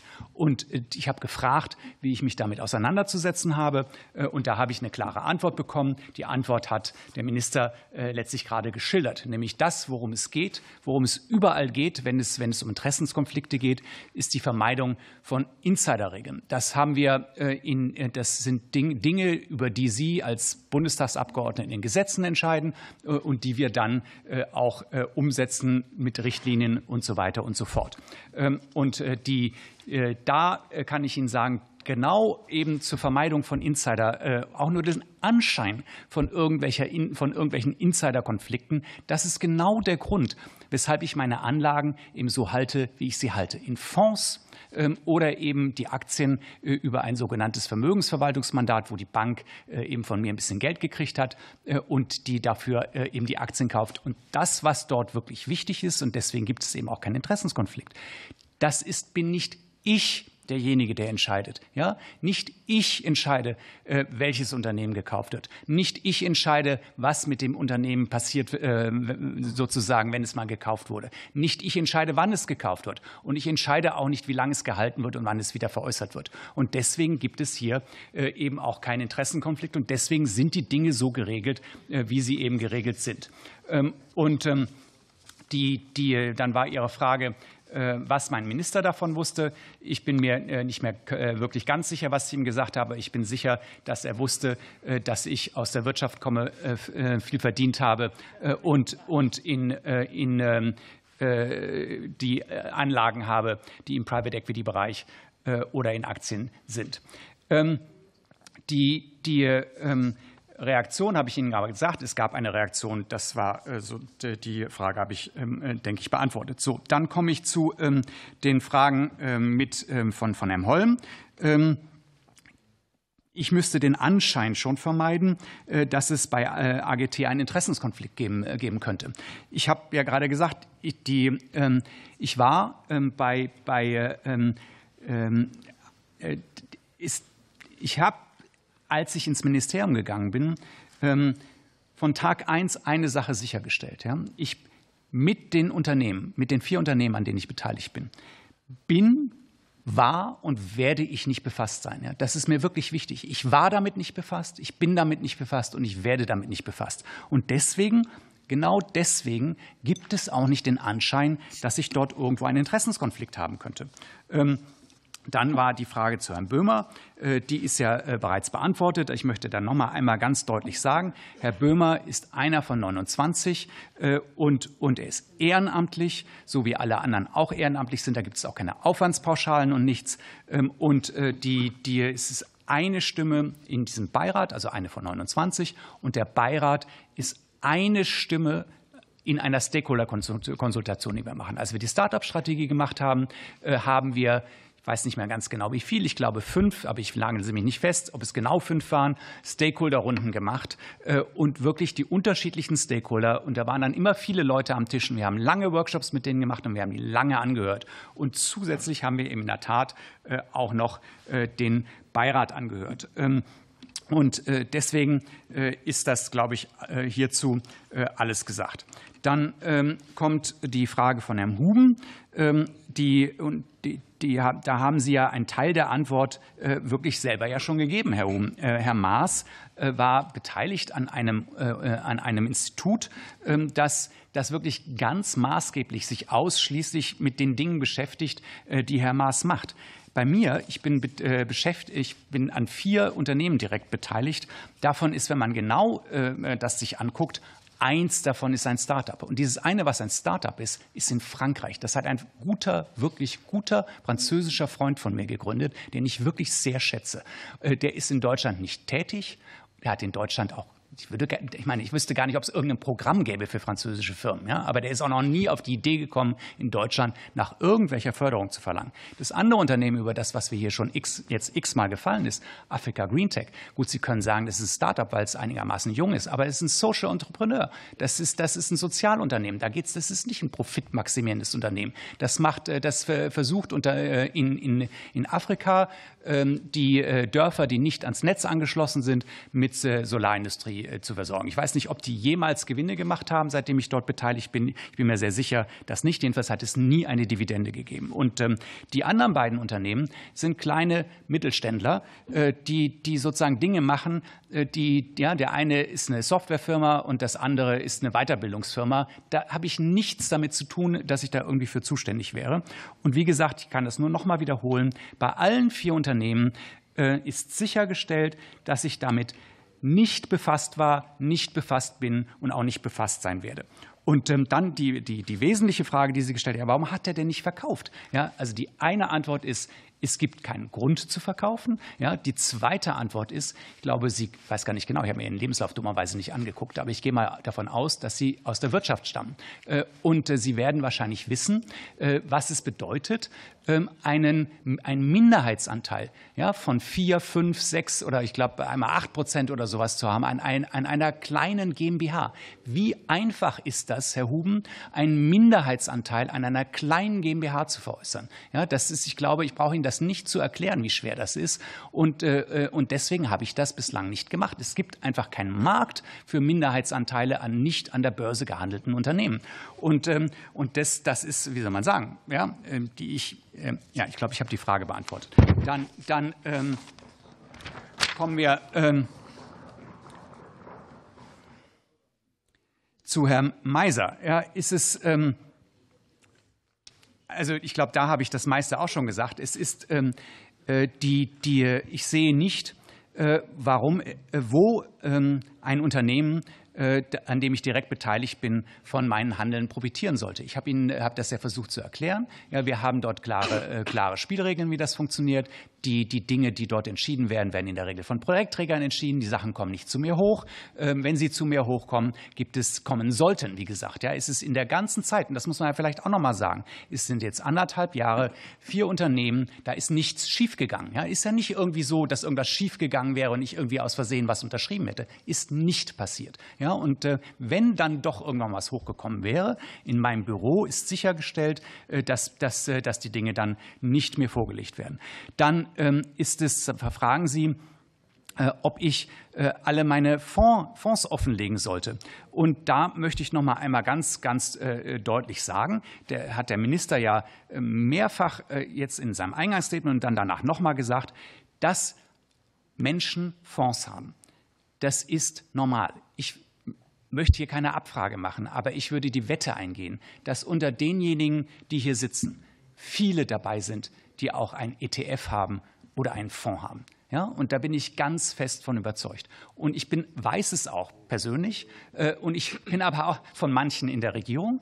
Aber ich äh, bin auch ganz fest davon überzeugt, dass von den Referatsleitungen, von den Abteilungsleitungen und von den anderen Staatssekretären, die in den verschiedenen Ministerien arbeiten, auch viele Menschen Fonds halten oder ETFs. Und es gibt aus gutem Grund, so wie wir das ja eben gesagt haben, keinen Grund, weshalb man es offenlegen muss. Und wenn Sie dann sagen, ja, profitiert man davon? Ja, sagen wir so, es gibt zwei Möglichkeiten davon zu profitieren. Die eine Möglichkeit ist, dass wir gute Politik machen, ja, dass wir es vielleicht schaffen, äh, irgendwo dafür zu sorgen, dass wir eine gute Industriestrategie haben, dass es den Unternehmen, dass die, eine, dass die gute Wettbewerbsbedingungen haben, ja, dass die Unternehmen gut äh, gedeihen und dass es, den, dass es den Unternehmen gut geht. Das schafft gute Arbeitsplätze und das erneuert den Wohlstand in Deutschland. Daraus zu konstruieren, dass ich das mache, damit mein Aktien, der, die Aktienkurse steigen, das tut mir leid, das finde ich weit hergeholt forward Und dann gibt es eine andere theoretische Möglichkeit, dass es Förderbescheide gibt, äh, dass, dass dort irgendwo das eine Unternehmen in, äh, in einem Fonds drin ist, was irgendwo äh, eine Einzelförderung bekommt. Da hat der Minister ja schon das Beispiel mit der Lufthansa genannt. Ich nenne Ihnen ein anderes Beispiel. Wenn, wenn Sie irgendwo einen DAX-ETF haben, ja, das ist das Klassischste, was man sozusagen hat. Wenn man einen DAX-ETF hat dann, und Sie jetzt hier irgendwo im Haushaltsausschuss sitzen würden, dann dann würden Sie mitentscheiden darüber, ob Siemens zum Beispiel, wenn es ein großes Geschäft in Afrika macht, und eine Hermesbürgschaft bekommt, weil große Hermesbürgschaften nämlich im äh, Haushaltsausschuss entschieden werden. Und haben Sie sich jemals gefragt, wenn Sie so eine Hermesbürgschaft äh, sozusagen darüber entschieden haben, ob Sie eine Siemens-Aktie in Ihrem DAX-ETF haben? Natürlich haben Sie das nicht, weil es völlig normal ist, ja, und, und, und, und weil wir das äh, deswegen nicht offenlegen müssen. Und, und deswegen kann ich nur sagen, natürlich, ich habe das eben transparent gemacht. Ich bin in, in Fonds investiert und ich habe ein Vermögensverwaltungsmandat mit, äh, mit der Bank. Ähm, und äh, darüber habe ich ein ganz breit gestreutes Portfolio, so wie alle Menschen, die in Fonds investiert sind. Und ich muss Ihnen nicht erklären, dass wenn Sie in einem Fonds investiert sind, ein Fonds mindestens ein paar Dutzende Unternehmen hat. Und wenn Sie ihn breit gestreut, wie das viele Verbraucherschützer empfehlen, äh, eben auch ein, was weiß ich, was ein ETF über den MSCI, MSCI World haben, sind Sie auch in viele tausend Unternehmen investiert. Und wie ich eben sagte, niemand interessiert es, welche Unternehmen in den Fonds drin sind. Vielen Dank. Herzlichen Dank, Herr Philipp. Nicht, dass bei Ihnen noch irgendwie Nachfragen kommen nach Empfehlungen, welche Sie das irgendwie geben können. Aber ähm, die Gefahr besteht ja vielleicht nicht. Ich finde es auch spannend, wer, wer irgendwie in Aktien investiert hat. Das würde mich auch interessieren, aber das kriegen wir heute nicht raus. Ähm, wir, wir haben, der Kollege Ernst hat das ähm, äh, vorhin erwähnt, wir sollten angesichts der Kürze der Fragezeit schon Wert darauf legen, dass die Antworten umfänglich sind. Ich habe bei der Kollegin Klöckner ein etwas unzufriedenes Gesicht will ich jetzt nicht sagen, aber unzufriedenes ja, Verhalten gesehen. ja. Ich weiß nicht, ob alle beantwortet Nein, sind. Nein, sie sind nicht beantwortet. Deshalb wäre es in der Tat gut Welche gewesen. Welche sind denn nicht beantwortet? Das will ich gerade, ich habe ich okay, gerne da und will auch darauf eingehen. Ich habe nie die Frage gestellt, ob der Minister gewusst hätte, dass Sie vorhin in der Wirtschaft waren. Das ist etwas zynisch, das so zu unterstellen. Wenn er das nicht gewusst hätte, wäre es wirklich schwierig. Ich habe eine andere Frage gestellt, Herr Staats. Nein, die wurde nicht. Er hat eine Frage beantwortet, mir unterstellt, die ich nicht gestellt habe. Ich bin gerade dabei, machen Sie sich doch ganz locker. Sie, und das ist der Punkt. Hätten wir vorher das, den Fragemodus gelassen, dann wäre das gegangen. Und meine Frage ist gewesen, wusste der Minister, ja, da liegen die Nerven blank. Darf ich mal ganz kurz? Wusste der Minister, meine Frage ist gewesen, ob der Minister von den Einzelbeteiligungen wusste und wenn ja, wann und in welcher Form. Das war meine Frage, die ich vorhin gestellt hatte. Und die zweite ist gewesen, die nicht beantwortet worden ist, äh, nachdem Sie Ihre Beteiligung gegenüber dem BMWK angegeben hatten, ist genau was passiert? Das würde ich gerne wissen, weil es ja um das Thema Compliance und Regelung geht. Hat es eine schriftliche Reaktion des BMWK auf diese Anzeige gegeben? Haben Sie eine bekommen? Wenn ja, in welchem Inhalt? Wenn ja, mit welchem Inhalt? Und können wir diese schriftliche Reaktion dann bekommen oder ist dann eine IFG-Anfrage notwendig? So, vielen Dank. Vielleicht kann man die noch ergänzen, Herr äh, Philipp, und dann. Ähm Vielleicht darf ich noch einmal wiederholt darauf hinweisen, Frau Klöckner, Sie waren ja selber Ministerin, dass noch einmal von allen erwartet werden muss, dass sie sich an Recht und Gesetz halten. Die Rechtsnorm habe ich jetzt mehrfach ausgeführt. Und ich natürlich wusste, weil Udo Philipp als äh, ehemaliger Unternehmer und Wirtschaftsmanager in Wirtschaft investiert hat, dass er Unternehmensbeteiligung hatte. Als mir mitgeteilt wurde, dass die Compliance-Pakete ausgeteilt wurden und alles okay ist, war die Sache für mich erledigt. Und ich komme wieder zu dem Punkt, der ja insgesamt politisch verhandelt wird, um einmal von der Landwirtschaft zu reden. Wenn wir über Düngevorschriften oder über Bewirtschaftungsformen reden, profitieren landwirtschaftliche Unternehmen. Bayer beispielsweise, BASF vielleicht, wenn man sich für Pestizideinsatz einsetzt. Wenn wir wissen wollen, ob Abteilungsleiter, Ministerinnen, Staatssekretäre, Landwirtschaftsausschussmitglieder Fonds haben, in denen Bayer und BASF Aktien drin sind, dann finde ich, kann man diese Frage diskutieren. Dann aber für alle. Das Gleiche gilt für Mitglieder des Verteidigungsausschusses oder für Mitglieder im Verteidigungsministerium. Ich will gar nicht jetzt irgendwelche, Sie wissen, was ich meine. Ja, es gilt im Grunde für alle. Für mich ist wichtig, dass gleiche Regeln für alle gelten. Das ist überprüft worden und dass wegen der Sensibilität in bestimmten Bereichen, die aber in anderen Häusern auch natürlich da ist, geprüft wird, ob die Compliance-Vorschriften eingehalten sind. Und das ist passiert.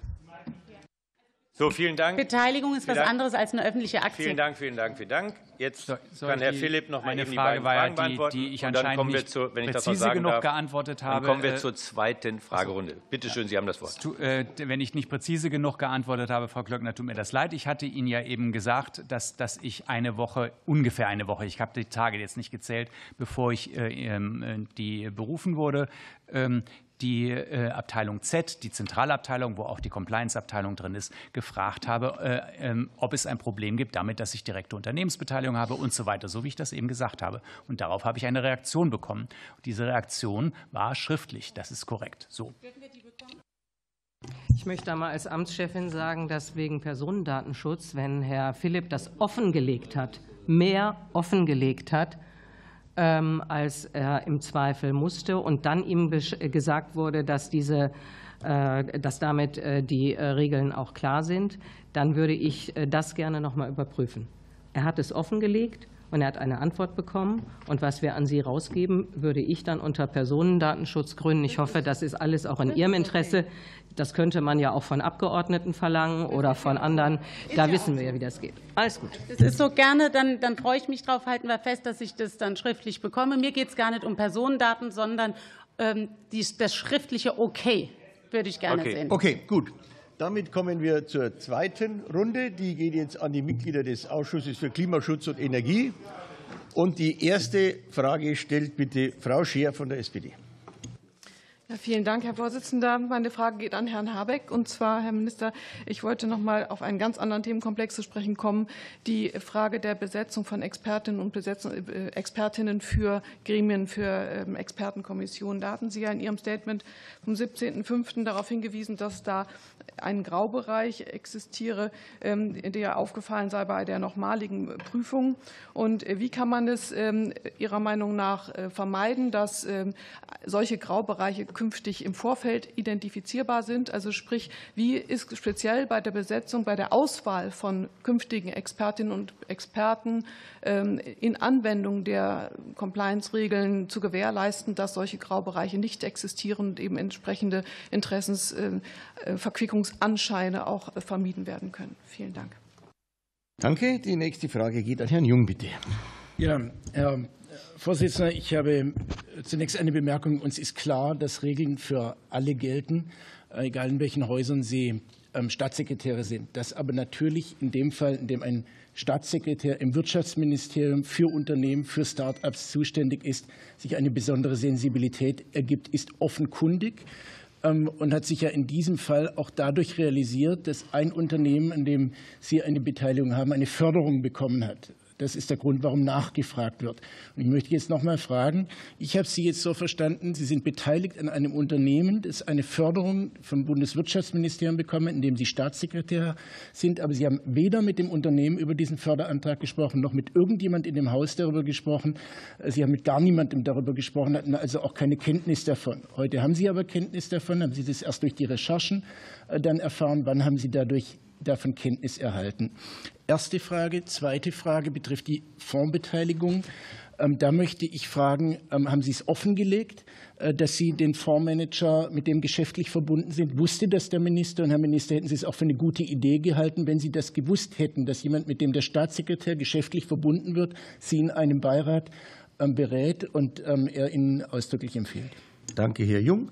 Die nächste Frage geht an Frau Nestle, bitte. Ja, herzlichen Dank dafür. Wir haben es ja gehört, dass äh, nicht nur Herr Maas sich vorbildlich verhalten hat, ähm, sondern auch Herr Philipp äh, die Compliance-Regeln sogar übererfüllt hat, indem er die Fondsbeteiligung angegeben hat. In der Tat würde ich gerne den Vorschlag aufgreifen, dass bevor hier mit Schmutz geworfen wird, den es vielleicht gar nicht gibt, ähm, wir doch überlegen, ob wir nicht erst mal gleichziehen und auch das für uns hier in diesen beiden Ausschüssen sagen, dass wir das angeben, wer an Fonds beteiligt ist. Ich möchte aber gerne noch mal nachhaken bei den Compliance-Regeln. Welche weiteren Compliance-Regeln gibt es denn, außer die Frage, ob man in Fonds investiert ist, die man offensichtlich ja gar nicht angeben muss, ähm, die jetzt wichtig sind für diesen Fall? Hat Udo Philipp alle diese Regeln erfüllt? Ja. Und dann würde ich noch einmal, Sie hatten gesagt, Sie sind mehr in Fonds investiert als in Einzelaktien. Habe ich das jetzt richtig verstanden, dass Sie in diesen vier kleinen Unternehmen, in Einzelunternehmen investiert sind und ansonsten in Fonds? Und war das auch eine konkrete Compliance-Entscheidung? Äh, und warum ist das besser für die Compliance? Danke. Frau Nistel, an wen haben Sie die Frage gerichtet? Das war mir jetzt nicht ganz klar.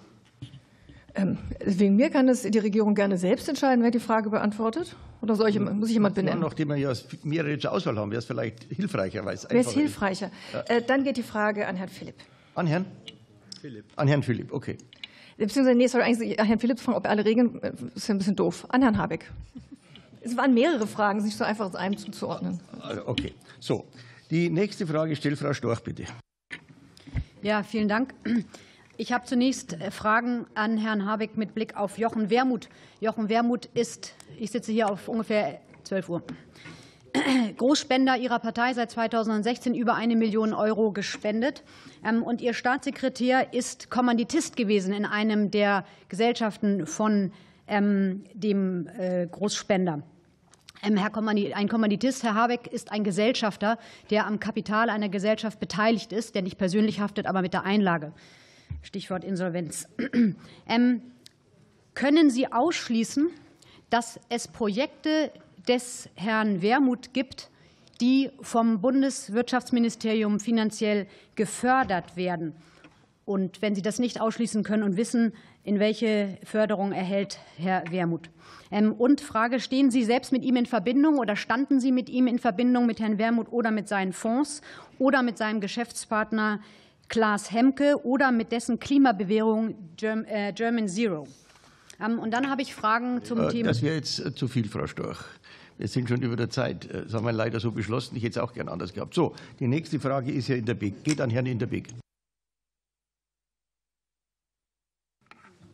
Ja, ähm, vielen Dank erstmal. Äh, Mitglieder des Deutschen Bundestages sind verpflichtet, ihre Beteiligung äh, mit Mandatsantritt offenzulegen oder auch ihre Nebeneinkünfte transparent anzuzeigen. Ähm, letzte Woche haben Sie, Herr Minister Habeck, eigentlich äh, gesagt, das BMWK hätte so ziemlich die die weitreichendsten Compliance-Regeln. Ähm, und äh, da stelle ich mir die Frage, warum diese Pflichten bei hohen Beamten dann nicht gleich mit reingekommen sind, also mitgeregelt worden sind. Und äh, deswegen würde ich Sie gerne fragen, was jetzt Ihre Schlussfolgerung aus dieser Debatte ist. Danke, Herr Interweg. Die letzte Frage geht an Herrn Lenkert.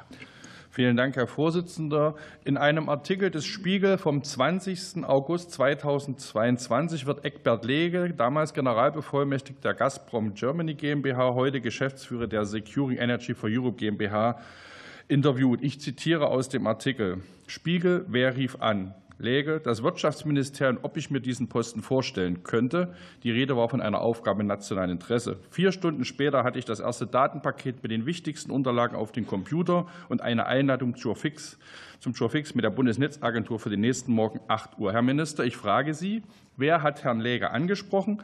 Gab es ein offizielles Auswahlverfahren für den Posten des Generalbevollmächtigten der Gazprom Germany GmbH? Und wenn ja, äh, wer kannte aus dem BMWK Herrn Lege und in welchem privaten oder geschäftlichen Verhältnis standen die Personen im Vorfeld zueinander? Herzlichen Dank. Wir kommen zu den Antworten. Herr Minister. Vielen Dank. Ich beginne mit der Frage von Frau Scher, die ja abgesetzt ist, ein bisschen von dem anderen Fragekomplex. Die Vorschriften für Compliance sind ja sozusagen immer interpretierbar und um sie klarer zu interpretieren, ist es meiner Ansicht nach ein gutes und probates Mittel, wie es jetzt bei der Neubesetzung der DENA-Geschäftsführung auch angewandt wird, aktiv die Auswahlmitglieder zu fragen. Also nicht zu sagen, wir gehen mal davon aus, dass ihr ähm, keine Trauzeugen beruft, um ein Beispiel zu nennen, sondern zu sagen, seid ihr mit den so und so vielen Bewerbern verwandt, verschwägert, irgendwie in irgendeiner Beziehung stehen, die die Compliance-Vorgaben verletzen oder berühren. Das wird uns am Ende, uns allen, immer noch keine absolute Sicherheit geben, aber dann muss man sozusagen ja schriftlich die Unwahrheit sagen oder sich wirklich sehr schlecht erinnern können. Also aus der Unterstellung, die ja quasi die Dienstnorm ist, dass alle selbstverantwortlich darüber wachen, ein aktives Handeln zu machen. Das scheint mir ein sinnvolles Vorgehen zu sein. Und jetzt, ob es erstmalig ist, weiß ich nicht genau. Aber um es, äh, jetzt wird es bei der DENA so auch angewandt oder ist so angewandt worden. Dann zu den anderen Fragen, die mindestens teilweise mir gestellt wurden. Ich möchte auf Africa Green Tech kurz eingehen.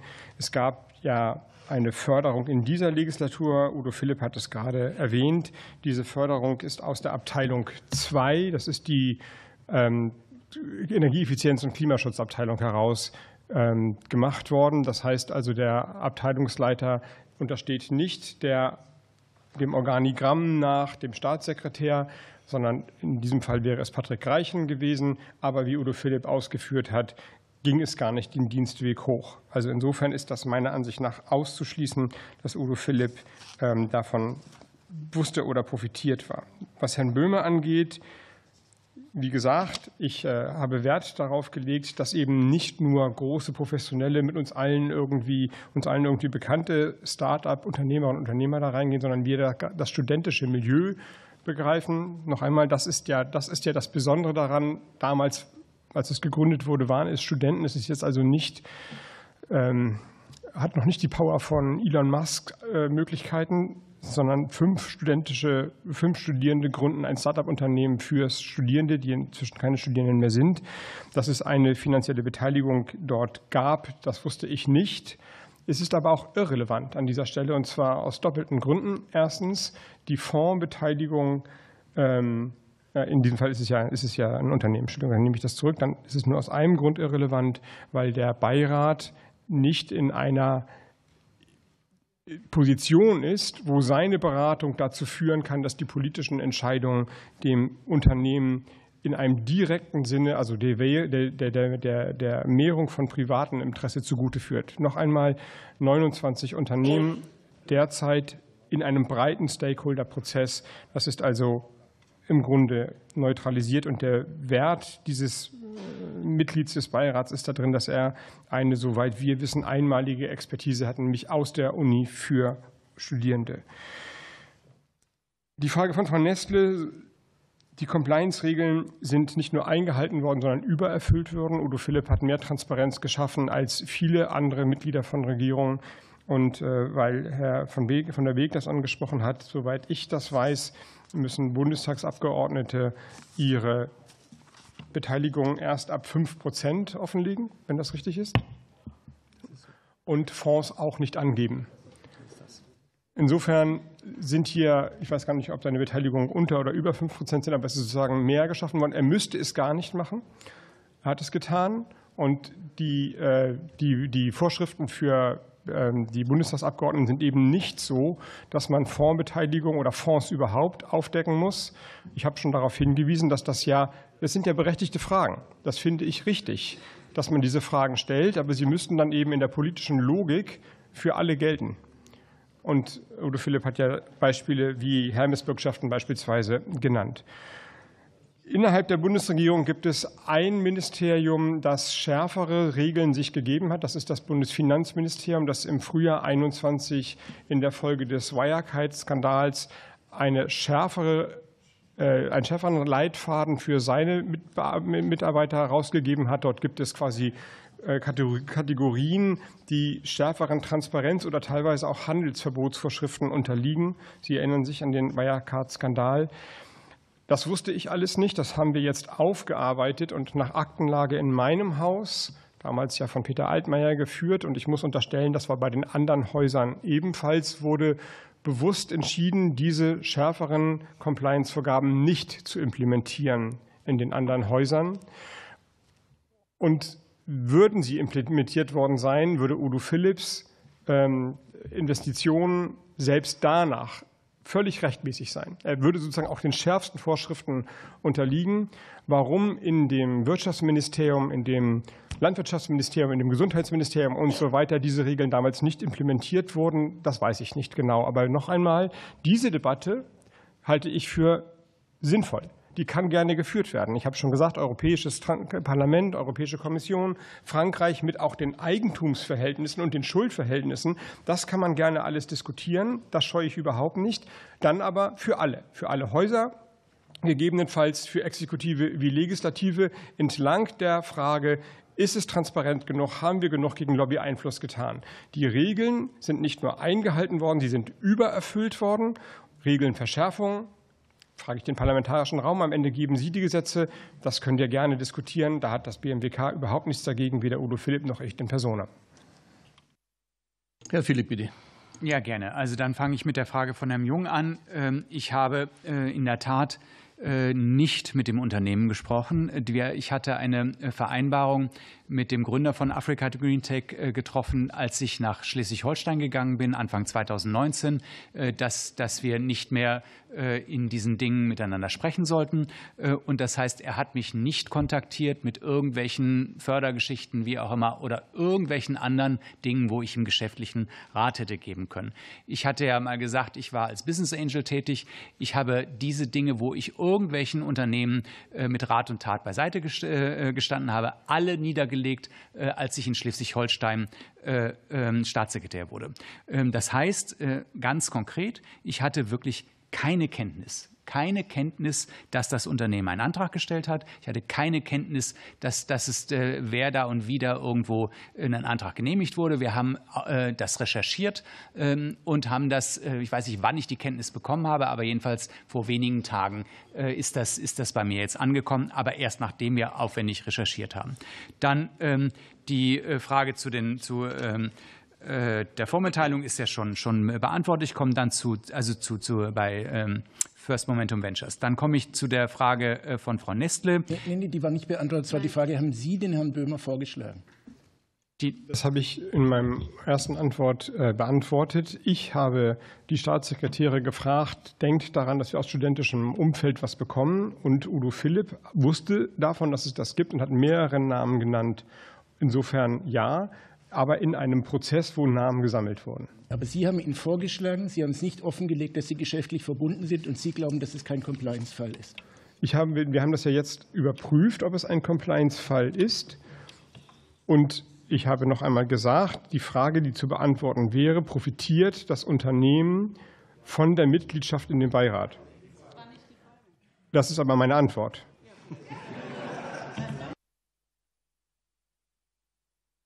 Herr Philipp, bitte. Gut, dann komme ich zu der Frage von Frau äh, Nestle. Äh, Entschuldigung? Achso. Dann komme komm ich zu der Frage von Frau, Nest, äh, von Frau Nestle, Fonds versus Einzelaktien versus der, der vier Einzelbeteiligungen. Die, die, ich hatte das vor, ja, mehrfach gesagt, die, es ist sehr wichtig, wenn man Compliance-Regeln äh, einzuhalten hat, dass man nicht gegen Insider-Regeln verstößt. Das macht man, indem man entweder sich an Fonds beteiligt oder wenn man an Aktien beteiligt ist, dass man die über ein Vermögensverwaltungsmandat zum Beispiel bei einer Bank macht. Ich mache das genau so. Das heißt, Aktien sind, sind beim, äh, über ein Vermögensverwaltungsmandat und, und die Fonds sind, sind Fonds. Bei beiden ist es immer dasselbe. Es ist ein eine externe Person oder Institution, die darüber entscheidet, welche Aktien gekauft werden, wann sie gekauft werden, wann sie wieder verkauft werden und so weiter und so fort. Ähm, dann äh, komme ich zu Frau von Storch. Die ist es in der Tat so, dass, dass ich ähm, Kommanditist bei einem Fonds von Herrn Wermuth war. Das ist lange her. Die, die, wenn man Kommanditist in, irgendwo ist, dann ist das bei einem geschlossenen Fonds. Kann man in einen geschlossenen Fonds investiert man immer über einen Kommanditanteil. Das ist total üblich. Das ist bei Private Equity Fonds so und das ist auch bei, bei, äh, bei Immobilienfonds so oder wo auch immer. Ja? Das, ist, das ist halt die Art und Weise, wie man dort investiert.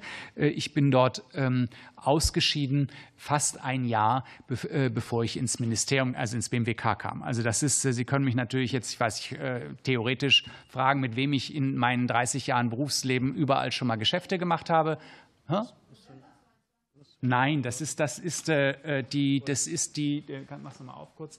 Die, wenn Sie es ganz präzise machen wollen, ist, die kann ich Ihnen gleich noch mal ganz präzise die, die, die Daten geben.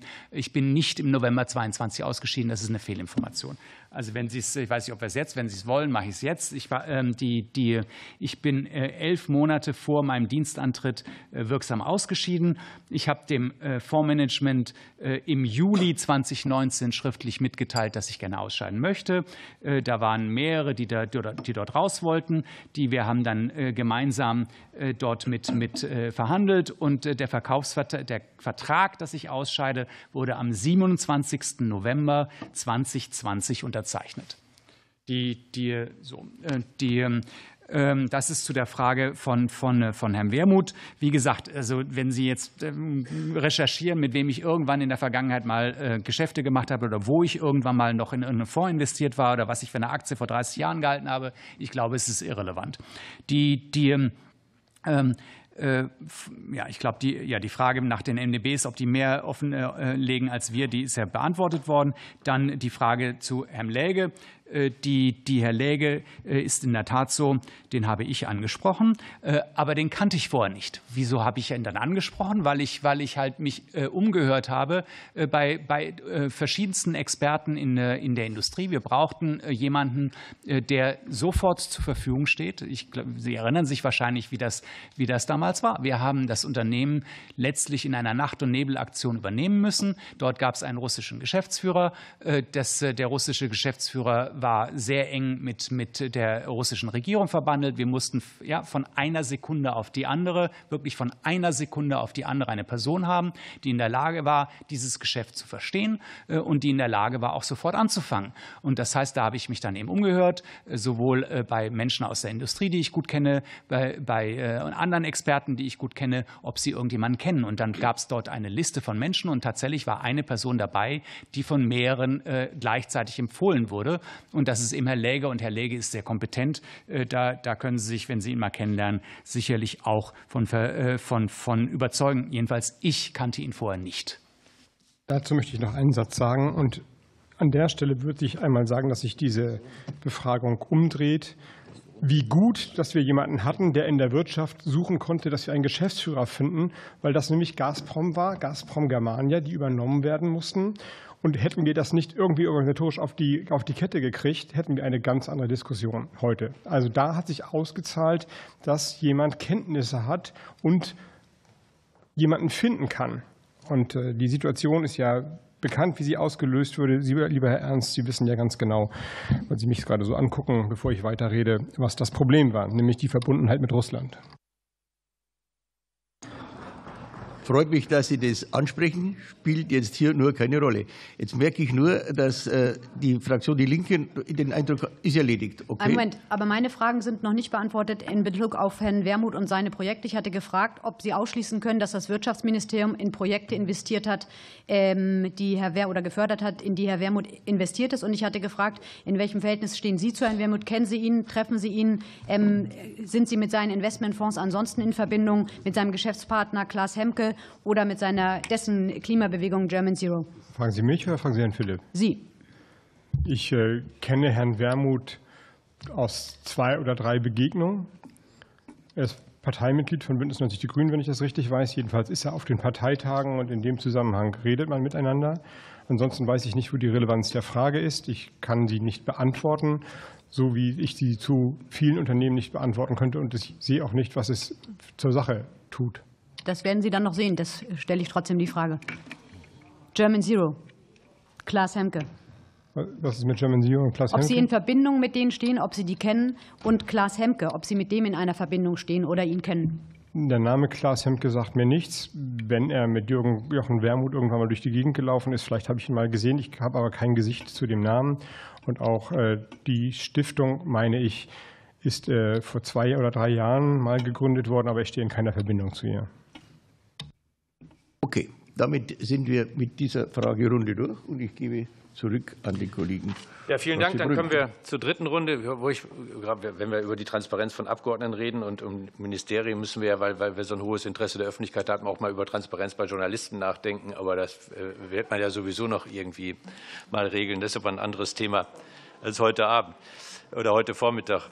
Äh, reden wir jetzt in der dritten Runde über die nächsten Fragen. Insbesondere Frau Kollegin Werner beginnt. Ja, vielen Dank, Herr Vorsitzender. Ähm, Ich würde an der Stelle einmal noch mal ganz kurz äh, betonen wollen, dass es sehr gut und auch wichtig ist, dass wir eine Start-up-Strategie haben und ähm, eben auch der Bundesregierung dafür noch mal danken. Ähm, Meine Fragen richten sich an Herrn Staatssekretär Philipp. Sie haben gesagt, dass Sie als Staatssekretär keine konkreten Entscheidungen zur Förderung treffen. Wenn aber Förderrichtlinien erstellt werden, werden dann nicht bereits Entscheidungen getroffen, die mögliche Investitionen in bestimmte Bereiche absehbar machen? Und die zweite Frage, gab es während Ihrer bisherigen Amtszeit als Staatssekretär eine aktive Einflussnahme auf Unternehmen, an denen Sie Anteile besitzen? Dankeschön. Klar in der Zeit. Ähm, Das Wort hat Julia Klöckner. Dankeschön. Meine Frage oder Fragen gehen wieder ausschließlich an den Staatssekretär. Erstens, Sie haben mit Pressemitteilung vom 18. Mai diesen Jahres Auskünfte über Ihre Beteiligung gegeben. Und in dieser Pressemitteilung werden einzelne Unternehmensbeteiligungen, das ist unter zwei, ausführlich dargestellt. Auffällig ist, dass andere Beteiligungen, das ist unter vier, äh, da nicht weitere Details ausgeführt werden. Warum gibt es hier unterschiedliche Transparenz, über die ja heute den ganzen Tag gesprochen wird? Und können Sie eine gleiche Transparenz wie auch bei zwei, also unter Punkt vier, ermöglichen? Zweite Frage, können Sie ausschließen, wirklich ausschließen, dass weitere Beteiligungen und Investitionen, Beteiligungen und Investitionen von Ihnen von den Förderungen des BMWK profitiert haben. Drittens, äh, dritte Frage. Haben Sie die Leitungsvorlage zur Benennung der Mitglieder in den Beirat Junge Digitale Wirtschaft, haben Sie die gezeichnet? Wenn Sie die gezeichnet haben, warum haben Sie diese Vorlage gezeichnet und nicht auf einen Interessenskonflikt hingewiesen? Und äh, vielleicht, um noch mal zu einem anderen Thema zu kommen, warum waren Sie eigentlich nicht in der Findungskommission für die Nachfolge der DENA-Geschäftsführung? Ist ja, äh, obwohl die Beteiligung der DENA in Ihrem Zuständigkeitsbereich liegt, aber Sie haben dann die Leitungsvorlage der Auswahlentscheidung von Herrn Schäfer gekennzeichnet. Und das muss es jetzt gewesen sein. Genau. Frau Kollegin Detzer, bitte. Ja, herzlichen äh, Dank. Ähm, Ich möchte zurückkommen ähm, auf einen Gedanken, äh, den Sie, Herr Minister, äh, eingangs der letzten ähm, Ausschusssitzung geäußert hatten, äh, nämlich der Zusammenhang äh, zwischen äh, dem Gebäudeenergiegesetz, äh, das die Koalition äh, gerade berät. Es ist ein wichtiges äh, Gesetzesvorhaben, das wir momentan da gemeinsam vorhaben. Äh, Ich möchte Sie in diesem Zusammenhang fragen, sehen Sie eine Verknüpfung dieses Gesetzesvorhabens mit der Personalie des ausgeschiedenen Staatssekretärs und äh, gibt es aus Ihrer Sicht Auswirkungen auf dieses Gesetz durch die Neubesetzung? Herzlichen Dank. Dankeschön, lieber Herr Kollege Huben. Bevor ich Sie vergesse, haben Sie jetzt das Wort. Ja, Herr Vorsitzender, vielen Dank. Meine Frage geht an Minister Robert Habeck. Äh, Wann wird den Ausschüssen der Vermerk zum Umgang mit möglichen Interessenkonflikten für Staatssekretär Philipp weitergeleitet? Äh, Bei Herrn Greichen war das äh, ungefähr nach zehn Tagen. Wir haben jetzt das BMWK gefragt.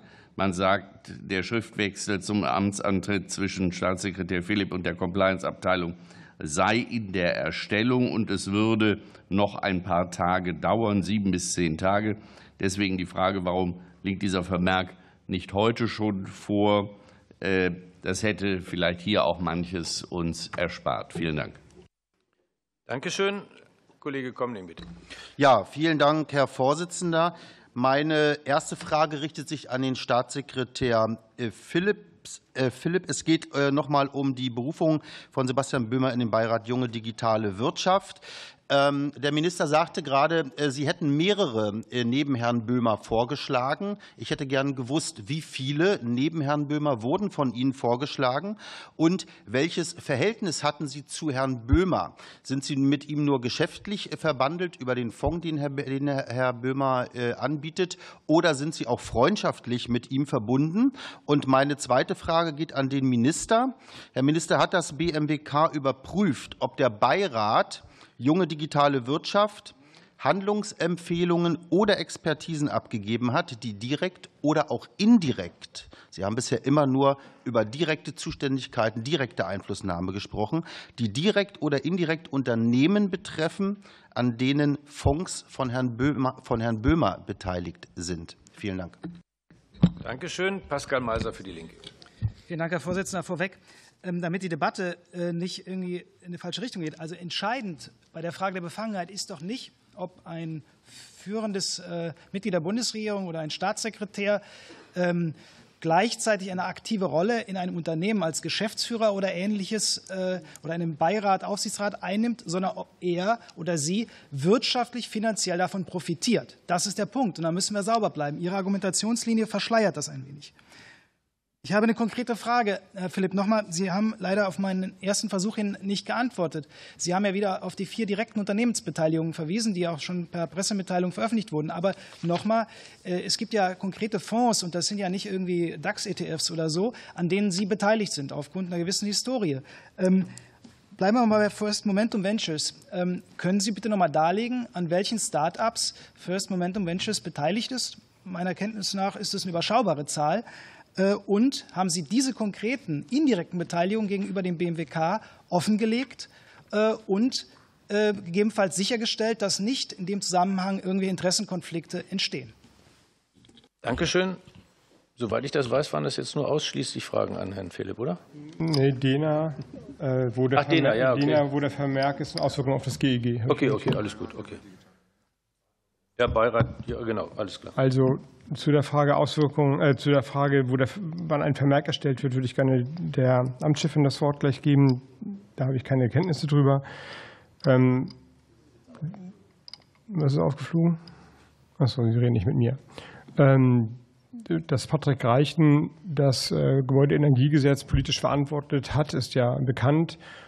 Nun ist er nicht mehr Staatssekretär. Ein neuer Philipp Nimmermann wird kommen. Das Gesetz allerdings ist ja nicht von ihm alleine verantwortet worden, sondern in letzter Konsequenz im Ministerium von mir, von der Expertise von vielen Leuten im Haus und vor allem auch im Bauministerium mitgeschrieben worden. Es ist dann im Kabinett beraten worden, verändert worden und geeint worden und liegt jetzt im Deutschen Bundestag äh, vor, sodass ich kurz sagen kann, das Ausscheiden von Patrick Reichen hat auf die weiteren Beratungen oder die mögliche Verabschiedung des GEG natürlich keinen Einfluss, sondern es liegt ja jetzt im Parlament.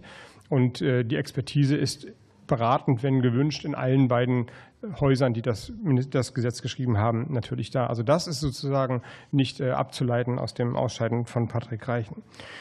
Dann ähm, zur DENA müsste der Vorsitzende etwas sagen, also der Aufsichtsratsvorsitzende, und zu, dem, ähm, zu der Frage, wann der Vermerk kommt. Anja Heiduk. Ich kann noch sagen, dass die Frage, wie wir studentische Expertise in, die, in den Beirat Junge Digitale Wirtschaft kommen, bekommen, äh, in, in Gesprächen eine Rolle gespielt hat. Und dann in der Recherche hat Udo Philipp zwei Namen vorgeschlagen.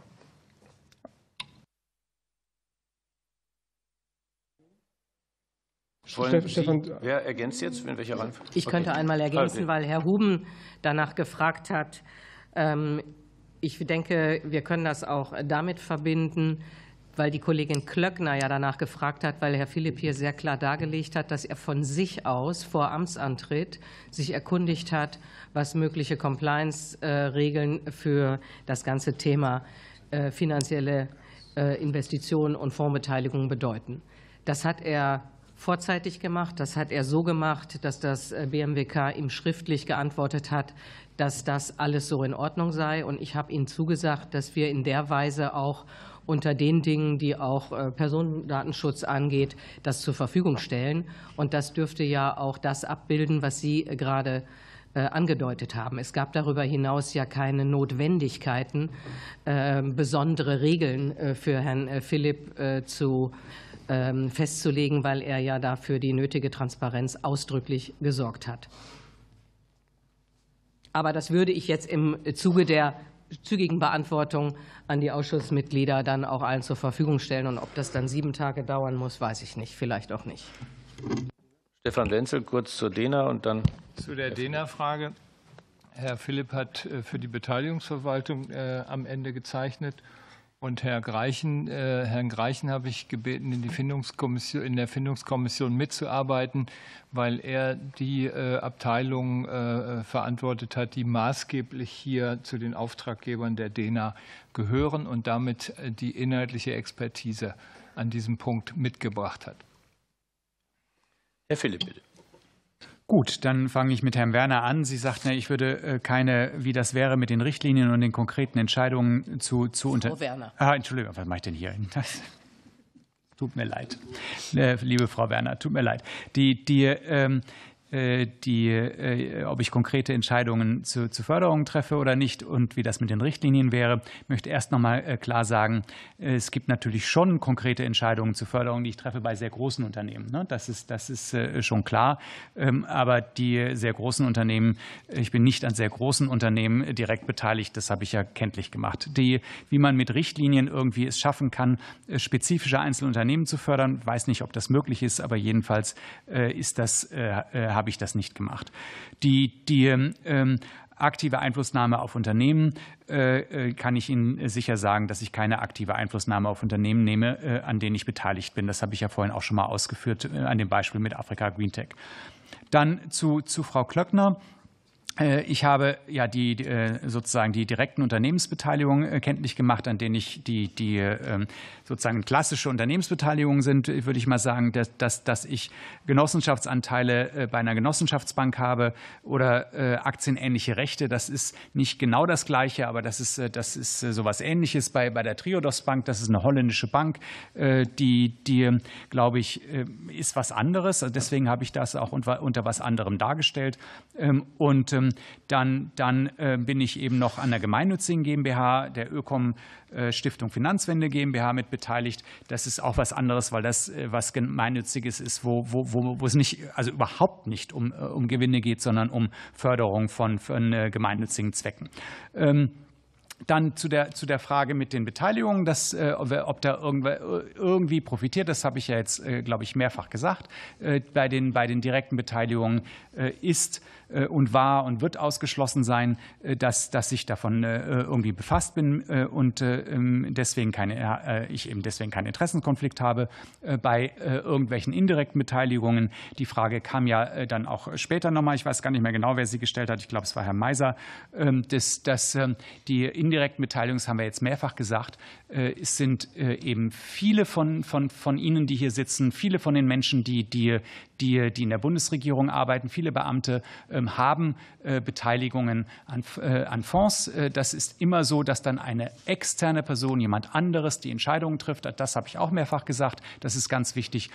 Und ähm, wenn dann da irgendwo ein Unternehmen in, in einem Fonds oder in einem ETF oder wie auch immer von einer Förderung oder Ähnlichem profitiert, das ist keine Frage des Interessenskonflikts. Diese Frage stellt sich nicht, weil sonst wie, wie ich eben sagte, haben Sie sich jemals diese Frage gestellt, wenn Sie zum Beispiel demnächst hier im Deutschen Bundestag äh, über die Postgesetznovelle abstimmen müssen. Nur mal so als Beispiel. Das wird hoffentlich demnächst im Bundestag kommen äh, und dann wird man regulieren, äh, wie viel Geld die Deutsche Post im, im, im Briefgeschäft verdient. Werden Sie dann in Ihr Depot gucken, ob Sie einen deutschen ETF haben, einen DAX-ETF und wenn Sie den haben, werden Sie sich dann der Stimme enthalten. Ich glaube, niemand hier hat sich diese Frage so jemals gestellt und ich glaube, sie ist auch nicht relevant. Ähm, und, und und das, das ist, äh, wenn, wenn man sagt, man sollte sich die Frage. Also die sich jetzt melden, die machen sich natürlich selbst verdächtig. Ja, das ist ja dann auch. Das ist also, wie gesagt, das hat der Minister ja auch immer wieder gesagt, äh, man kann Regeln auch äh, ändern, aber äh, heute sind die Regeln eben eindeutig und dort gibt es eben keinen Interessenskonflikt, wenn man in Fonds beteiligt ist. So. Und, und ähm, dann die Frage nach, dem, nach der Leitungsvorlage. Die Leitungsvorlage, Leitungsvorlagen im Ministerium gehen immer auf dem Dienstweg. Ich bin in dem Dienstweg drin. Ich kann mich nicht erinnern, ob ich sie gezeichnet habe, aber es ist ausgesprochen wahrscheinlich, dass ich sie gezeichnet habe. Also das, davon gehe ich eigentlich aus, dass ich sie gezeichnet habe. Ähm, die, die äh, damit ist, und dass es keinen Interessenskonflikt gab, hat der Minister gerade äh, beantwortet. Ich sehe das genauso. Die, die äh, Frage von ähm, Herrn Huben ist, glaube ich, beantwortet. Dann die Frage von Herrn Komnik. Ähm, die, die ähm, zu, zu Herrn Böhmer nochmal, die, also die, ich möchte da nochmal wiederholen, Herr Böhmer ist der einzige, ähm, nach meiner Kenntnis einzige und sicher jedenfalls der erste, äh, der einen studentischen Venture Capital Fonds äh, gegründet hat. Und deswegen ist Herr Böhmer äh, da drin. Kenne ich Herrn Böhmer geschäftlich oder freundschaftlich? Ich bin mit Herrn Böhmer nicht befreundet. Ich kenne ihn, ich bin wirklich kein Freund von mir. Den kenne ich sozusagen aus, Beruf, aus professionellem Umfeld. Ähm, dann ähm, die ganzen indirekten Beteiligungen, das äh, habe ich eben beantwortet.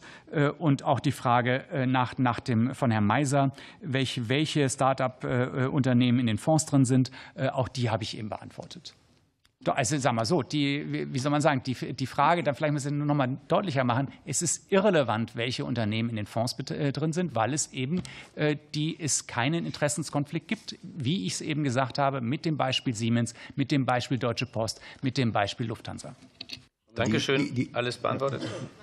Welche nicht? Eine präzise nicht. Ich habe nicht danach gefragt, Herr Staatssekretär, ähm, ob Sie befasst sind bei Entscheidungen, die Ihre Beteiligung oder Investitionen betreffen. Ich habe konkret gefragt, können Sie ausschließen, dass weitere Beteiligungen und Investitionen von Ihnen von den Förderungen des BMWK profitiert haben oder profitieren, nicht ob Sie damit befasst sind? Also ich, äh, äh, Frau Klöckner, ich kann definitiv ausschließen, dass bei den vier Unternehmen, an denen ich direkt beteiligt bin, äh, dass ich dort Entscheidungen getroffen habe oder Entscheidungen treffe, die zugunsten des Unternehmens gehen, wo ich äh, die eben eine, eine, über eine Förderung entscheide. Das kann ich definitiv ausschließen. Also, also, also wir haben jetzt noch den Kollegen Komning und den Kollegen Meiser. Beide haben die Auffassung, dass noch nicht alles beantwortet ist. Vielleicht ganz kurz, wir müssen noch mal weiterkommen. Ja, meine Frage ähm, hat der Minister eigentlich beantwortet. Es ging nämlich um die Frage, wie viele Personen insgesamt ähm, Herr Philipp für den Beirat Junge Digitale Wirtschaft vorgeschlagen hat. Der Minister sagte, einen weiteren neben Herrn Böhmer. Das hörte sich äh, zuvor anders an, als ob es mehrere gewesen wären. Ähm, können Sie mir, Herr Philipp, äh, bestätigen, dass es nur ein weiterer neben Herrn Böhmer war? Und wenn ja, wer war das? Wir müssen ein bisschen aufpassen, dass wir bei der zweiten Runde nicht mit der Angabe, die Frage sei nicht beantwortet worden, noch eine zweite Frage stellen. Also da wollte ich noch mal darauf achten. Herr Kollege Meiser, bitte. Herr Philipp, Sie haben ja meine Frage bewertet, aber Sie haben sie nicht beantwortet. Nämlich, ähm, welche Start-ups sich konkret äh, hinter First Momentum Ventures äh, verstecken, also an wie vielen First Momentum Ventures eigentlich beteiligt sind. Welche sind das? Dann überlassen Sie es dann noch vielleicht der Öffentlichkeit zu bewerten, ob da möglicherweise eine Befangenheit vorliegt oder nicht. Aber dafür müssen wir es ja wissen, Danke. welche es sind. Okay. Ich würde gerne noch einmal zu dem Besetzungsprozess des Beirats Junge Digitale Wirtschaft einleiten, dass Sie ein Verständnis haben, was das für ein Beirat ist und wie er sich zusammensetzt, nämlich nicht sehr systematisch. Und das war davor schon immer so. Er ist 2013 gegründet worden. Ich habe schon gesagt, seitdem sind, jetzt habe ich es vergessen, 83, glaube ich, äh, Personen da durchgegangen, immer für ein Jahr oder zwei. Länger werden die nicht berufen. Also auch Herr Böhmer wird dann, ich glaube, er ist für ein Jahr berufen. Das ging im August los. Also seine Amtszeit endet dann auch schon bald wieder. Und der Beirat gibt sich selbst eine Agenda, setzt die Themen, die er setzt, macht dann in den Stakeholder-Gesprächen, in den Konferenzen, die wir zu Start-up machen, seine Beiträge und berät so die Bundesregierung im weitesten Sinne. Das heißt also von einer direkten Beratung. Also einzelne Mitglieder kriegen Audienzen bei Staatssekretären oder Ministern, ein Berater des Ministers. Da muss man schon sehr kühn interpretieren, um das so zusammenzufassen. Und wir haben die Tradition des Hauses fortgesetzt. Wir haben versucht, zu der Frage der Zeit, wie schaffen wir eine aktive Start-up-Szene in Deutschland, kluge, informierte, kenntnisreiche Leute zusammenzusetzen durch kollektives Wissen zusammentragen. Und ein Aspekt dieses Wissen zusammentragen ist die Frage, meine Frage gewesen, wie kriegen wir studentische Ausgründungen da rein? Und darauf gab es dann zwei Namen, die kein anderer kannte. Ob Udo Philipp weitere Namen genannt hat in den mündlichen Gesprächen, die es dann in diesem Kreis gibt, das äh, lässt sich, glaube ich, nicht nachvollziehen. Aber diese beiden Namen lassen sich nachvollziehen und die gehen beide auf das studentische Umfeld. Den zweiten kenne ich gar nicht. Aber ich glaube, die sind beide dann auch übernommen worden. Ähm, ja, so ansonsten, gut, ist dazu vielleicht gesagt, ich wollte vielleicht noch ermerken, ich habe fünf Beiräte im Haus. Insgesamt sind es ungefähr 150 Beiratsmitglieder in den verschiedenen Beiräten. Interessanterweise ist einer der fünf Beiräte ein Beirat für TTIP. Also so, so, so will ich sagen, bedeutsam ist das noch nicht mal aufgefallen, bis wir jetzt mal gezählt haben, wie viele Beiräte wir haben. Philipp, Sie wären noch da. Ja, ne? also die, äh, auf die Frage, welche konkreten Unternehmen in den äh, jeweiligen Fonds sind, äh, an denen ich ähm, sozusagen beteiligt bin, die Frage kann ich Ihnen nicht ad hoc beantworten. Das habe ich ja schon gesagt, es entscheiden Externe, was dort für Unternehmen drin sind. Und ich halte sie das ist jetzt wieder meine Bewertung, nicht für relevant. Ich sehe nicht, warum man das tun muss. Es gibt keine Regel, dass man, dass man irgendwo die Fonds oder die Unternehmen, die in Fonds drin sind, äh, äh, äh, bekannt machen muss. Wir haben lange begründet, warum das keinen Interessenkonflikt darstellt. Ähm, dann zu der Frage von Herrn Komnick, ähm, wie viele habe ich da vorgeschlagen? Ich, dieser Vorschlagungsprozess, das war ein Brainstorming, wo wir zu mehreren zusammengesessen haben. Ich weiß nicht mehr genau, äh, wie viele da äh, mal äh, sozusagen im Brainstorming von mir kamen. Ähm, aber jedenfalls ist es so, wie der Minister gesagt hat. Am Schluss waren es zwei. Und, und damit ist hoffentlich gut, weil die, ich glaube nicht, dass man sozusagen da jetzt auch noch sagen muss, wer die andere Person war. Ich korrigiere, es sind sieben Beiräte, die wir haben. Ich habe fünf gesagt, dass nicht, dass es falsch im Protokoll steht oder mir dann vorgehalten wird. Nee, sowas machen wir nicht. So, dann kommt in der nächsten Runde der Kollege Hümpfer zur Frage. Herrn Vorsitzenden, Frau Klöckner, Sie genießen das ja richtig, sowas mal von der anderen Seite ähm, zu sehen. Ich will nur zu bedenken geben, heute auf den Tag genau vor zwei Monaten hat die Union 100.000 Euro von der Deutschen Vermögensberatung bekommen weil Sie darum gebettelt haben. Zufällig ging es dann bei der Geldübergabe ums Provisionsverbot das auf EU-Ebene. Das habe ich gemacht. Das müssen Sie, bevor Sie jetzt so, hier was öffentlich behaupten, so müssen Sie das so noch mal kurz... So funktioniert Meinungsbildung in der Union. Nee. Ähm, das will ich vielleicht noch kurz einwerfen. Ansonsten reden wir ähm, über ein Unternehmen. 100.000 Euro? Was haben Sie gerade behauptet? Sie haben gerade was ja, ja, ich hab, gar ich nicht stimmt. Eine Frage an Herrn Philipp. Nein, nein, also Sie haben gerade behauptet, ich hätte um 100.000 Euro gebettelt. Das kann man hier öffentlich würde, nicht. Und mich würde interessieren, ob Sie ein Sie persönliches Interesse am Erfolg von Sebastian Böhmer oder seinem Vorhaben. Vielen Dank. Die nächste Frage stellt Herr Jung, bitte. Ja, Herr Vorsitzender, ähm, ich möchte noch mal nachfragen, was den äh, Vorgang der Berufung von Sebastian Böhmer angeht. Und ich möchte konkret Frau Heiduck fragen. Sie sind ja für Compliance zuständig. Ähm, haben Sie heute auch erst erfahren, dass äh, der Staatssekretär, jemand, mit dem er geschäftlich verbunden ist, vorgeschlagen hat für so einen Beirat, ohne es offen zu legen? Wenn man in so einem Beirat ist, Sie haben gerade gesagt, wie wenig Menschen, 150, das Ministerium beraten, dann bringt es ja ein Renommee auch mit für die Person und für das Unternehmen. Das ist ja nicht zu bestreiten. Man stellt sich in den Dienst der Allgemeinheit, das bringt auch ein Renommee mit sich, ungeachtet von finanziellen Konsequenzen. Hätten die Compliance-Vorschriften da nicht verlangt, dass so etwas offengelegt wird in diesem Fall? Haben Sie es jetzt erst erfahren? Gibt es da eine Prüfung? Und würden Sie uns unterrichten, wie das weitergeht? Bei der Gelegenheit äh, zum äh, DENA-Verfahren war offen äh, geblieben, das beamtenrechtliche Verfahren. Darüber wollten Sie informieren und die Frage, welche Kosten entstehen jetzt dadurch, dass dieses gesamte Besetzungsverfahren wiederholt werden muss. Danke. Die nächste Frage geht an Frau Nestle, bitte. Herzlichen Dank. Also ich glaube, wir haben hier schon bewiesen, dass es ein äh, sehr äh, effizientes Frageverfahren ist. Wir haben sehr, sehr viele Fragen schon beantwortet. Ähm, es war übrigens auch falsch die Darstellung am Anfang. Letztes Mal hätte man vier Minuten für die Frage gehabt. Letztes Mal hat man vier Minuten für Frage und Antwort. Und wenn ich mir schaue, wie lange wir schon beisammen sind, dann ist es eine ganz ähnliche Größenordnung wie beim letzten Mal.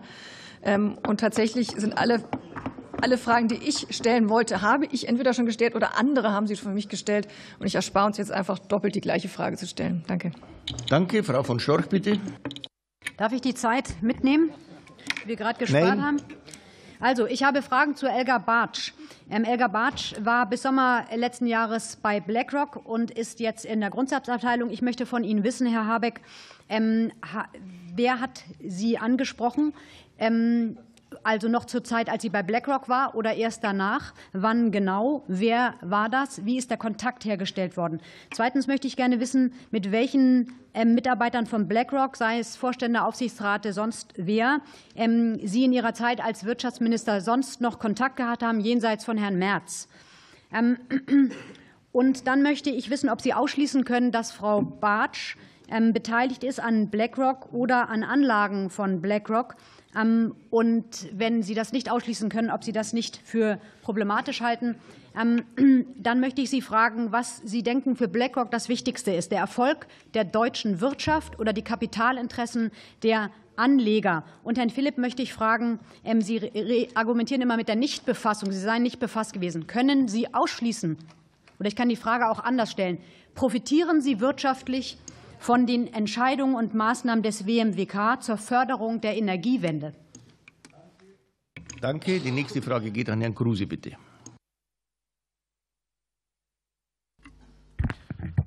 Vielen Dank, Herr Vorsitzender. Herr Habeck, in Ihren Compliance-Regeln, die uns im Nachgang der Greichensitzung zugestellt worden sind, heißt es wie folgt, ich zitiere, trennen Sie strikt Dienst- und Privatleben. Prüfen Sie, ob Ihre Privatinteressen zu einer Kollision mit Ihren, dienstlichen, mit Ihren Dienstpflichten führen. Zitat Ende. Herr Habeck, hat Herr Philipp strikt zwischen Dienst und Privatleben getrennt bei der Empfehlung einer Person für ein politisches Gremium, mit der er wirtschaftlich verbunden ist? Zweitens, Herr Philipp, gleiche Frage. Haben Sie strikt zwischen Dienst und Privatleben getrennt bei der Empfehlung einer Person für ein politisches Gremium, mit der Sie wirtschaftlich verbunden sind? Drittens, Herr Philipp, warum haben Sie jemanden für ein politisches Gremium empfohlen, mit dem Sie wirtschaftlich verbunden sind? Und viertens, Herr Habeck, was ist Ihre Konsequenz daraus, dass Ihr Staatssekretär eine Person für ein politisches Gremium empfohlen hat, mit der er wirtschaftlich verbunden ist? Vielen Dank. Danke. Die letzte Frage geht an Herrn Lenkert, bitte. Vielen Dank, Herr Vorsitzender. Herr Lege hat vor seiner Einsetzung als Geschäftsführer bei der bundeseigenen Securing Energy for Europe GmbH SEFE bei der Basten Consulting Group gearbeitet. Die Basten Consulting Group wurde vom BMWK beauftragt, die Umstrukturierung der SEFE zu analysieren. Ist da nicht ein Interessenkonflikt vorhanden? Diese Frage geht an Sie, Herr Minister. Und dann möchte ich noch mal zu den Fonds eine Frage an Herrn Staatssekretär Philipp stellen. Fonds müssen ihre Beteiligung offenlegen. Demzufolge wissen Sie, auch wenn Sie nicht in Entscheidungen des Fonds beteiligt sind, in welche Unternehmen die Fonds investiert haben. Demzufolge besteht aus unserer Sicht durchaus die Möglichkeit eines Interessenkonfliktes, dass Entscheidungen, die zum Beispiel einen Biotechnologiefonds betreffen, natürlich dann auch ihre Unternehmensbeteiligung beeinflussen können. Und gerade bei dem von meinem Kollegen nachgefragten Fonds ist es die Beteiligungsgruppe nicht so groß. Das heißt, Entscheidungen des BMWK können für Start-ups können durchaus den Wert ihres Fonds treffen. Also sehen Sie da nicht doch Interessenkonflikte und müssten mehr offenlegen. Danke. Als erstes Herr Minister. Vielen Dank.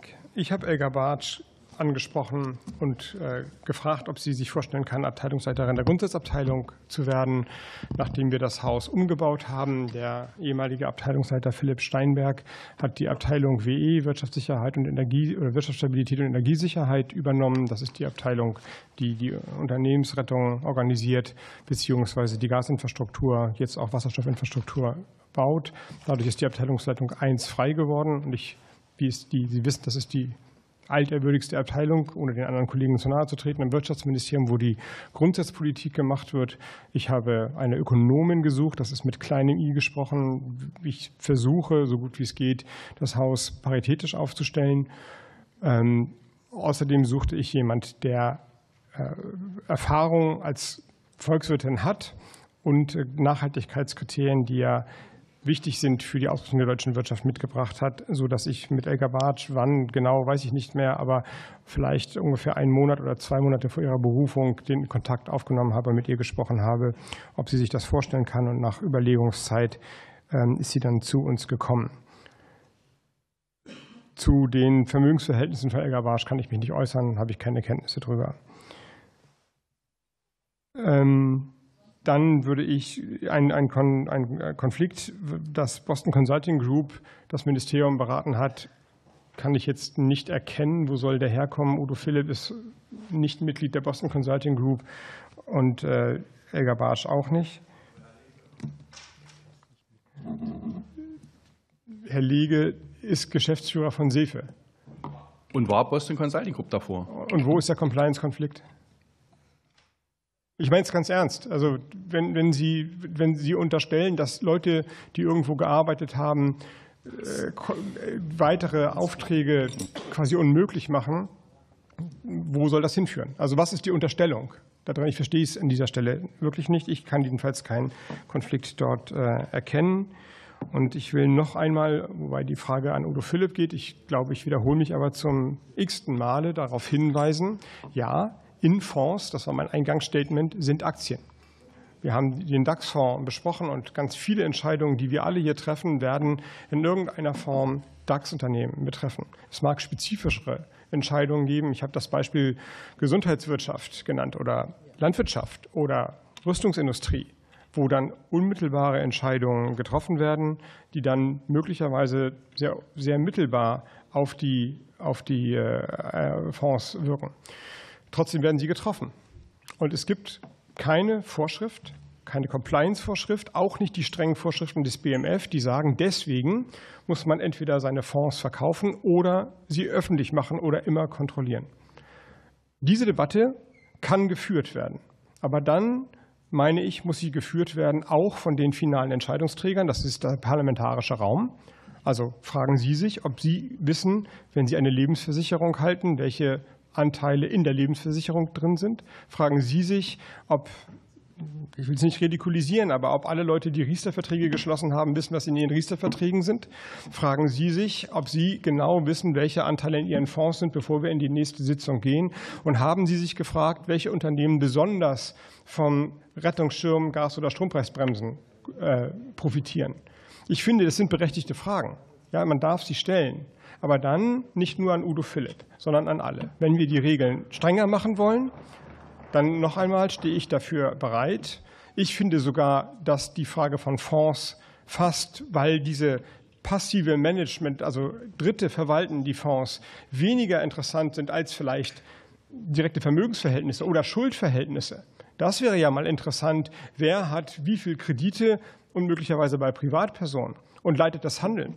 Wenn der Deutsche Bundestag das für sich veröffentlichen möchte oder er möchte, dass es die Regierung tut. Also alle Minister, bevor sie erst einmal Minister werden oder Staatssekretäre oder Abteilungsleiter, ziehen sie die Grenze, wo sie wollen erst einmal sagen müssen, haben Sie Ihr Haus abbezahlt, wie viel Kredit haben Sie und so weiter. Das finde ich ebenfalls relevante Fragen. Ich will darauf hinaus, dass, wir, dass es kein Ende gibt wenn man diese Fragen stellt.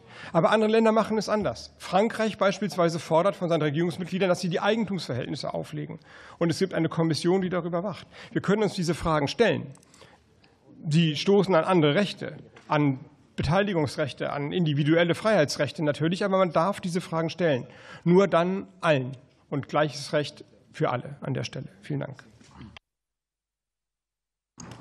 Herr Philipp, bitte. So, äh, dann äh, habe ich äh, ein Interesse am Erfolg von First Momentum Ventures. Ich habe das ja mehrfach gesagt, First Momentum Ventures ist der erste studentische ähm, Venture Capital Fonds. Ich würde mich wirklich sehr freuen, wenn es gelingen würde, dass Studenten anderen Studenten unter die Arme greifen können, weil es, weil es meiner Meinung nach nicht angehen kann, dass, dass Studenten, wenn sie sich selbstständig machen, auf ein reiches Elternhaus angehen angewiesen sind. Äh, insofern habe ich ein klares Interesse. Außerdem bin ich äh, in den Fonds investiert. Äh, das heißt, ich habe auch ein Interesse daran, dass der Fonds nicht irgendwie pleite geht. Gibt es ein, ein Konnex dazu zwischen einer Mitgliedschaft im Beirat Junge Digitale Wirtschaft und der Frage, wie sich die, ich weiß nicht, wie viele es sind, habe sie nicht gezählt, aber es werden sicherlich mindestens 20 sein Unternehmen, die dort in, der, in dem Fonds drin sind. Äh, ob die sich dann dadurch besser entwickeln, diesen Konnex sehe ich nicht. Und deswegen sehe ich auch keinen Interessenskonflikt. So, dann ähm, profitieren wir von der Energiewende. Alle, die wir hier sitzen, profitieren hoffentlich von der Energiewende. Äh, und alle, die irgendwelche Aktien haben in ihren Depots, äh, die, die, die, die sich damit beschäftigen, profitieren vielleicht auch davon. Die Frage, ob ich irgendwo dienstliches und privates Interesse äh, trenne? Da kann ich klar mit Ja beantworten. Äh, die ähm, äh, letzte Frage, nochmal, das wiederhole ich mich nochmal immer wieder. Ist es in der Tat richtig? Ich kann nachschauen, äh, also das ist die Frage von, ich glaube, äh, ähm, es war Herr Lenkert, die sich das mal gestellt hat, äh, die ich könnte nachschauen, was, was in den Fonds drin ist. Ich gebe aber gerne zu, dass ich das bislang nicht gemacht habe. Ja, das, ich habe jetzt anlässlich dieser Geschichten das erste Mal diese Sachen aufgemacht, aber ich habe nicht systematisch das untersucht und es hat mich bislang auch nie interessiert, was da drin ist. Ähm, und wie ich eben sagte, das hat der Minister mehrfach gesagt, ich habe es mehrfach gesagt, die Frage stellt stellt sich nicht. Ja, das, die äh, leitet keinen Interessenskonflikt her. Ja, außer man diskutiert, so wie äh, der Minister das gerade gesagt hat, dass man vielleicht irgendwo gesellschaftlich sich anders aufstellen sollte und eine andere Kultur haben sollte. Herr Jung, Sie haben mich auch gefragt in meiner Rolle als Amtschefin zum äh, Thema Beirat Junge Digitale Wirtschaft. Ich möchte das ausdrücklich sagen. Wir haben uns ja hier jetzt aufgrund der Fragen auch sehr viel Mühe gegeben, die Rolle des Beirats, seine Aufgabe, seine Funktion und auch seine Größe ausführlich darzustellen. Und ich muss Ihnen sagen, dass ich vor dem Hintergrund des hier Dargestellten nicht erkennen kann, dass es dort, wonach Sie mich gefragt haben, eine Compliance-Angelegenheit ist, die eine Interessenkollision von äh, Herrn Philipp bedeuten könnte. Da habe ich eine klare Auffassung vor dem Hintergrund der ähm, Beantwortung und der Darstellung der Sachlage. Zweite Frage. Ich hatte, ich hatte auch gefragt, ob Sie schon vor heute wussten, dass er ihn vorgeschlagen hat, aber die geschäftliche Verbindung nicht offengelegt hatte. Die, äh, die ganze Fragestellung äh, dieses Hintergrundes ist mir in der Vorbereitung der ganzen Thematik äh, für diese Sitzung erst bekannt geworden. Ich halte es ausdrücklich für unproblematisch. Und es ist ja auch gut, wenn man da noch mal hinguckt. Es ist ja auch hier öffentliche Sitzung, dass man noch mal genau erklärt, was ist das? Und da habe ich eine Auffassung, dass das keine Compliance-Angelegenheit und ein, ein Interessenkollisionspunkt sein würde und könnte. Zweiter Punkt aber zum beamtenrechtlichen äh, Verfahren und der Prüfung, was äh, den Staatssekretär Patrick Greichen angeht. Es ist so, dass die Prüfung des Sachverhalts läuft und das Verfahren betrieben wird. Aber ich habe schon gesagt, dass auch in der letzten Sitzung das BMWK grundsätzlich zu Einzelheiten eines solchen Verfahrens aus Personendatenschutzgründen keine, keine Stellung beziehen darf und deswegen werde ich auch zum weiteren Verlauf des Verfahrens sowieso nicht zu inhaltlichen Aspekten aus eben diesen Gründen hier Stellung nehmen können. Meine Frage war noch ich noch großen Unmut bei Ihnen. Sie haben die Möglichkeit, noch mal kurz nachzufragen. Es ist keine Nachfrage, es ist nur die Wiederholung der gleichen Frage und die richtete sich an Herrn Habeck mit der Bitte mitzuteilen, ob er jenseits von Herrn Merz und Frau Bartsch er oder in seinem Hause Kontakte mit BlackRock-Mitarbeitern gehabt hat, jedweder Art, Vorstände, Aufsichtsräte, sonst wer, über Themen Wirtschafts- und Energiepolitik. Ich möchte wissen, wie tief sozusagen Sie mit BlackRock in Verbindung ich sind. Keine, keine Kontakte außer der ehemaligen Wassasi-Ökonomen Elga Bartsch zu BlackRock und Friedrich Merz. Damit der Kollege Wenzel, Sie ja, sehr geehrter Herr Vorsitzender, sehr geehrte Abgeordnete, sehr geehrte Damen und Herren, es war noch die Frage offen von Herrn Jung nach den äh, Kosten äh, der, äh, der, des, der Neuaufsetzung des Verfahrens bei der DENA. Und dazu kann ich sagen, dass der Aufsichtsrat sich hier auf eine einvernehmliche Aufhebung des Vertrages mit Herrn Schäfer verständigt hat wegen der Beendigung des Vertrags und dem damit verbundenen Verlust des Arbeitsplatzes hat äh, die Gesellschaft Herrn Schäfer äh, eine der Sach- und Rechtslage angemessene Abfindung angeboten. Davon hat, das ist nicht, äh, nicht ausverhandelt worden, weil Herr Schäfer darauf verzichtet hat und geltend gemacht hat, dass er keine Arbeitsleistung erbringen kann und deshalb auch keine Abfindung haben wollte.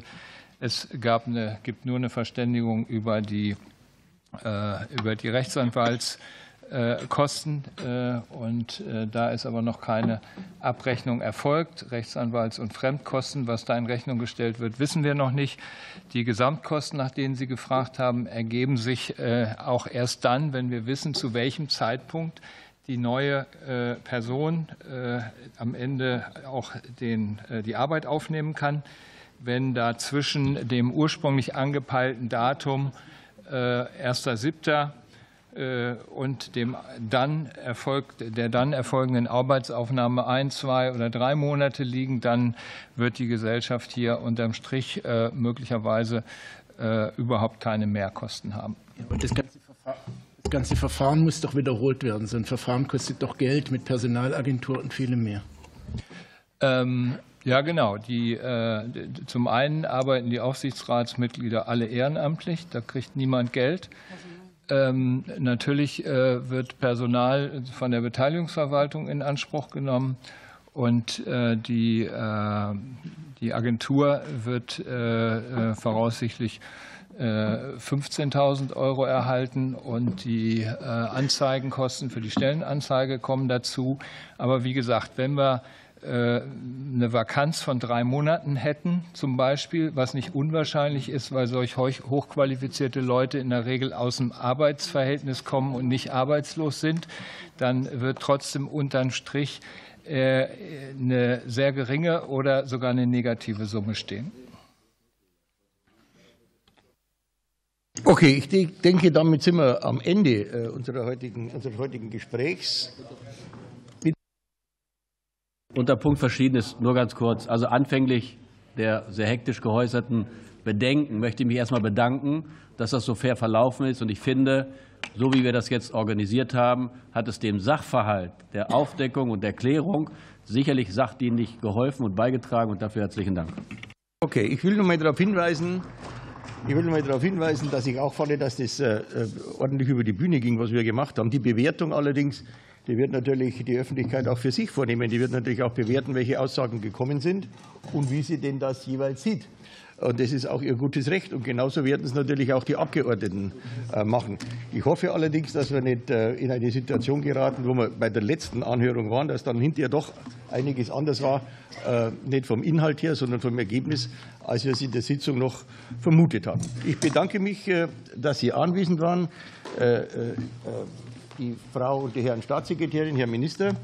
Ich danke Ihnen, dass Sie uns zur Verfügung standen. Ich bedanke mich für die Fragestellungen und ich bedanke mich dafür, äh, dass äh, das diszipliniert und sauber über die Bühne ging. Recht herzlichen Dank. Die Sitzung ist damit geschlossen.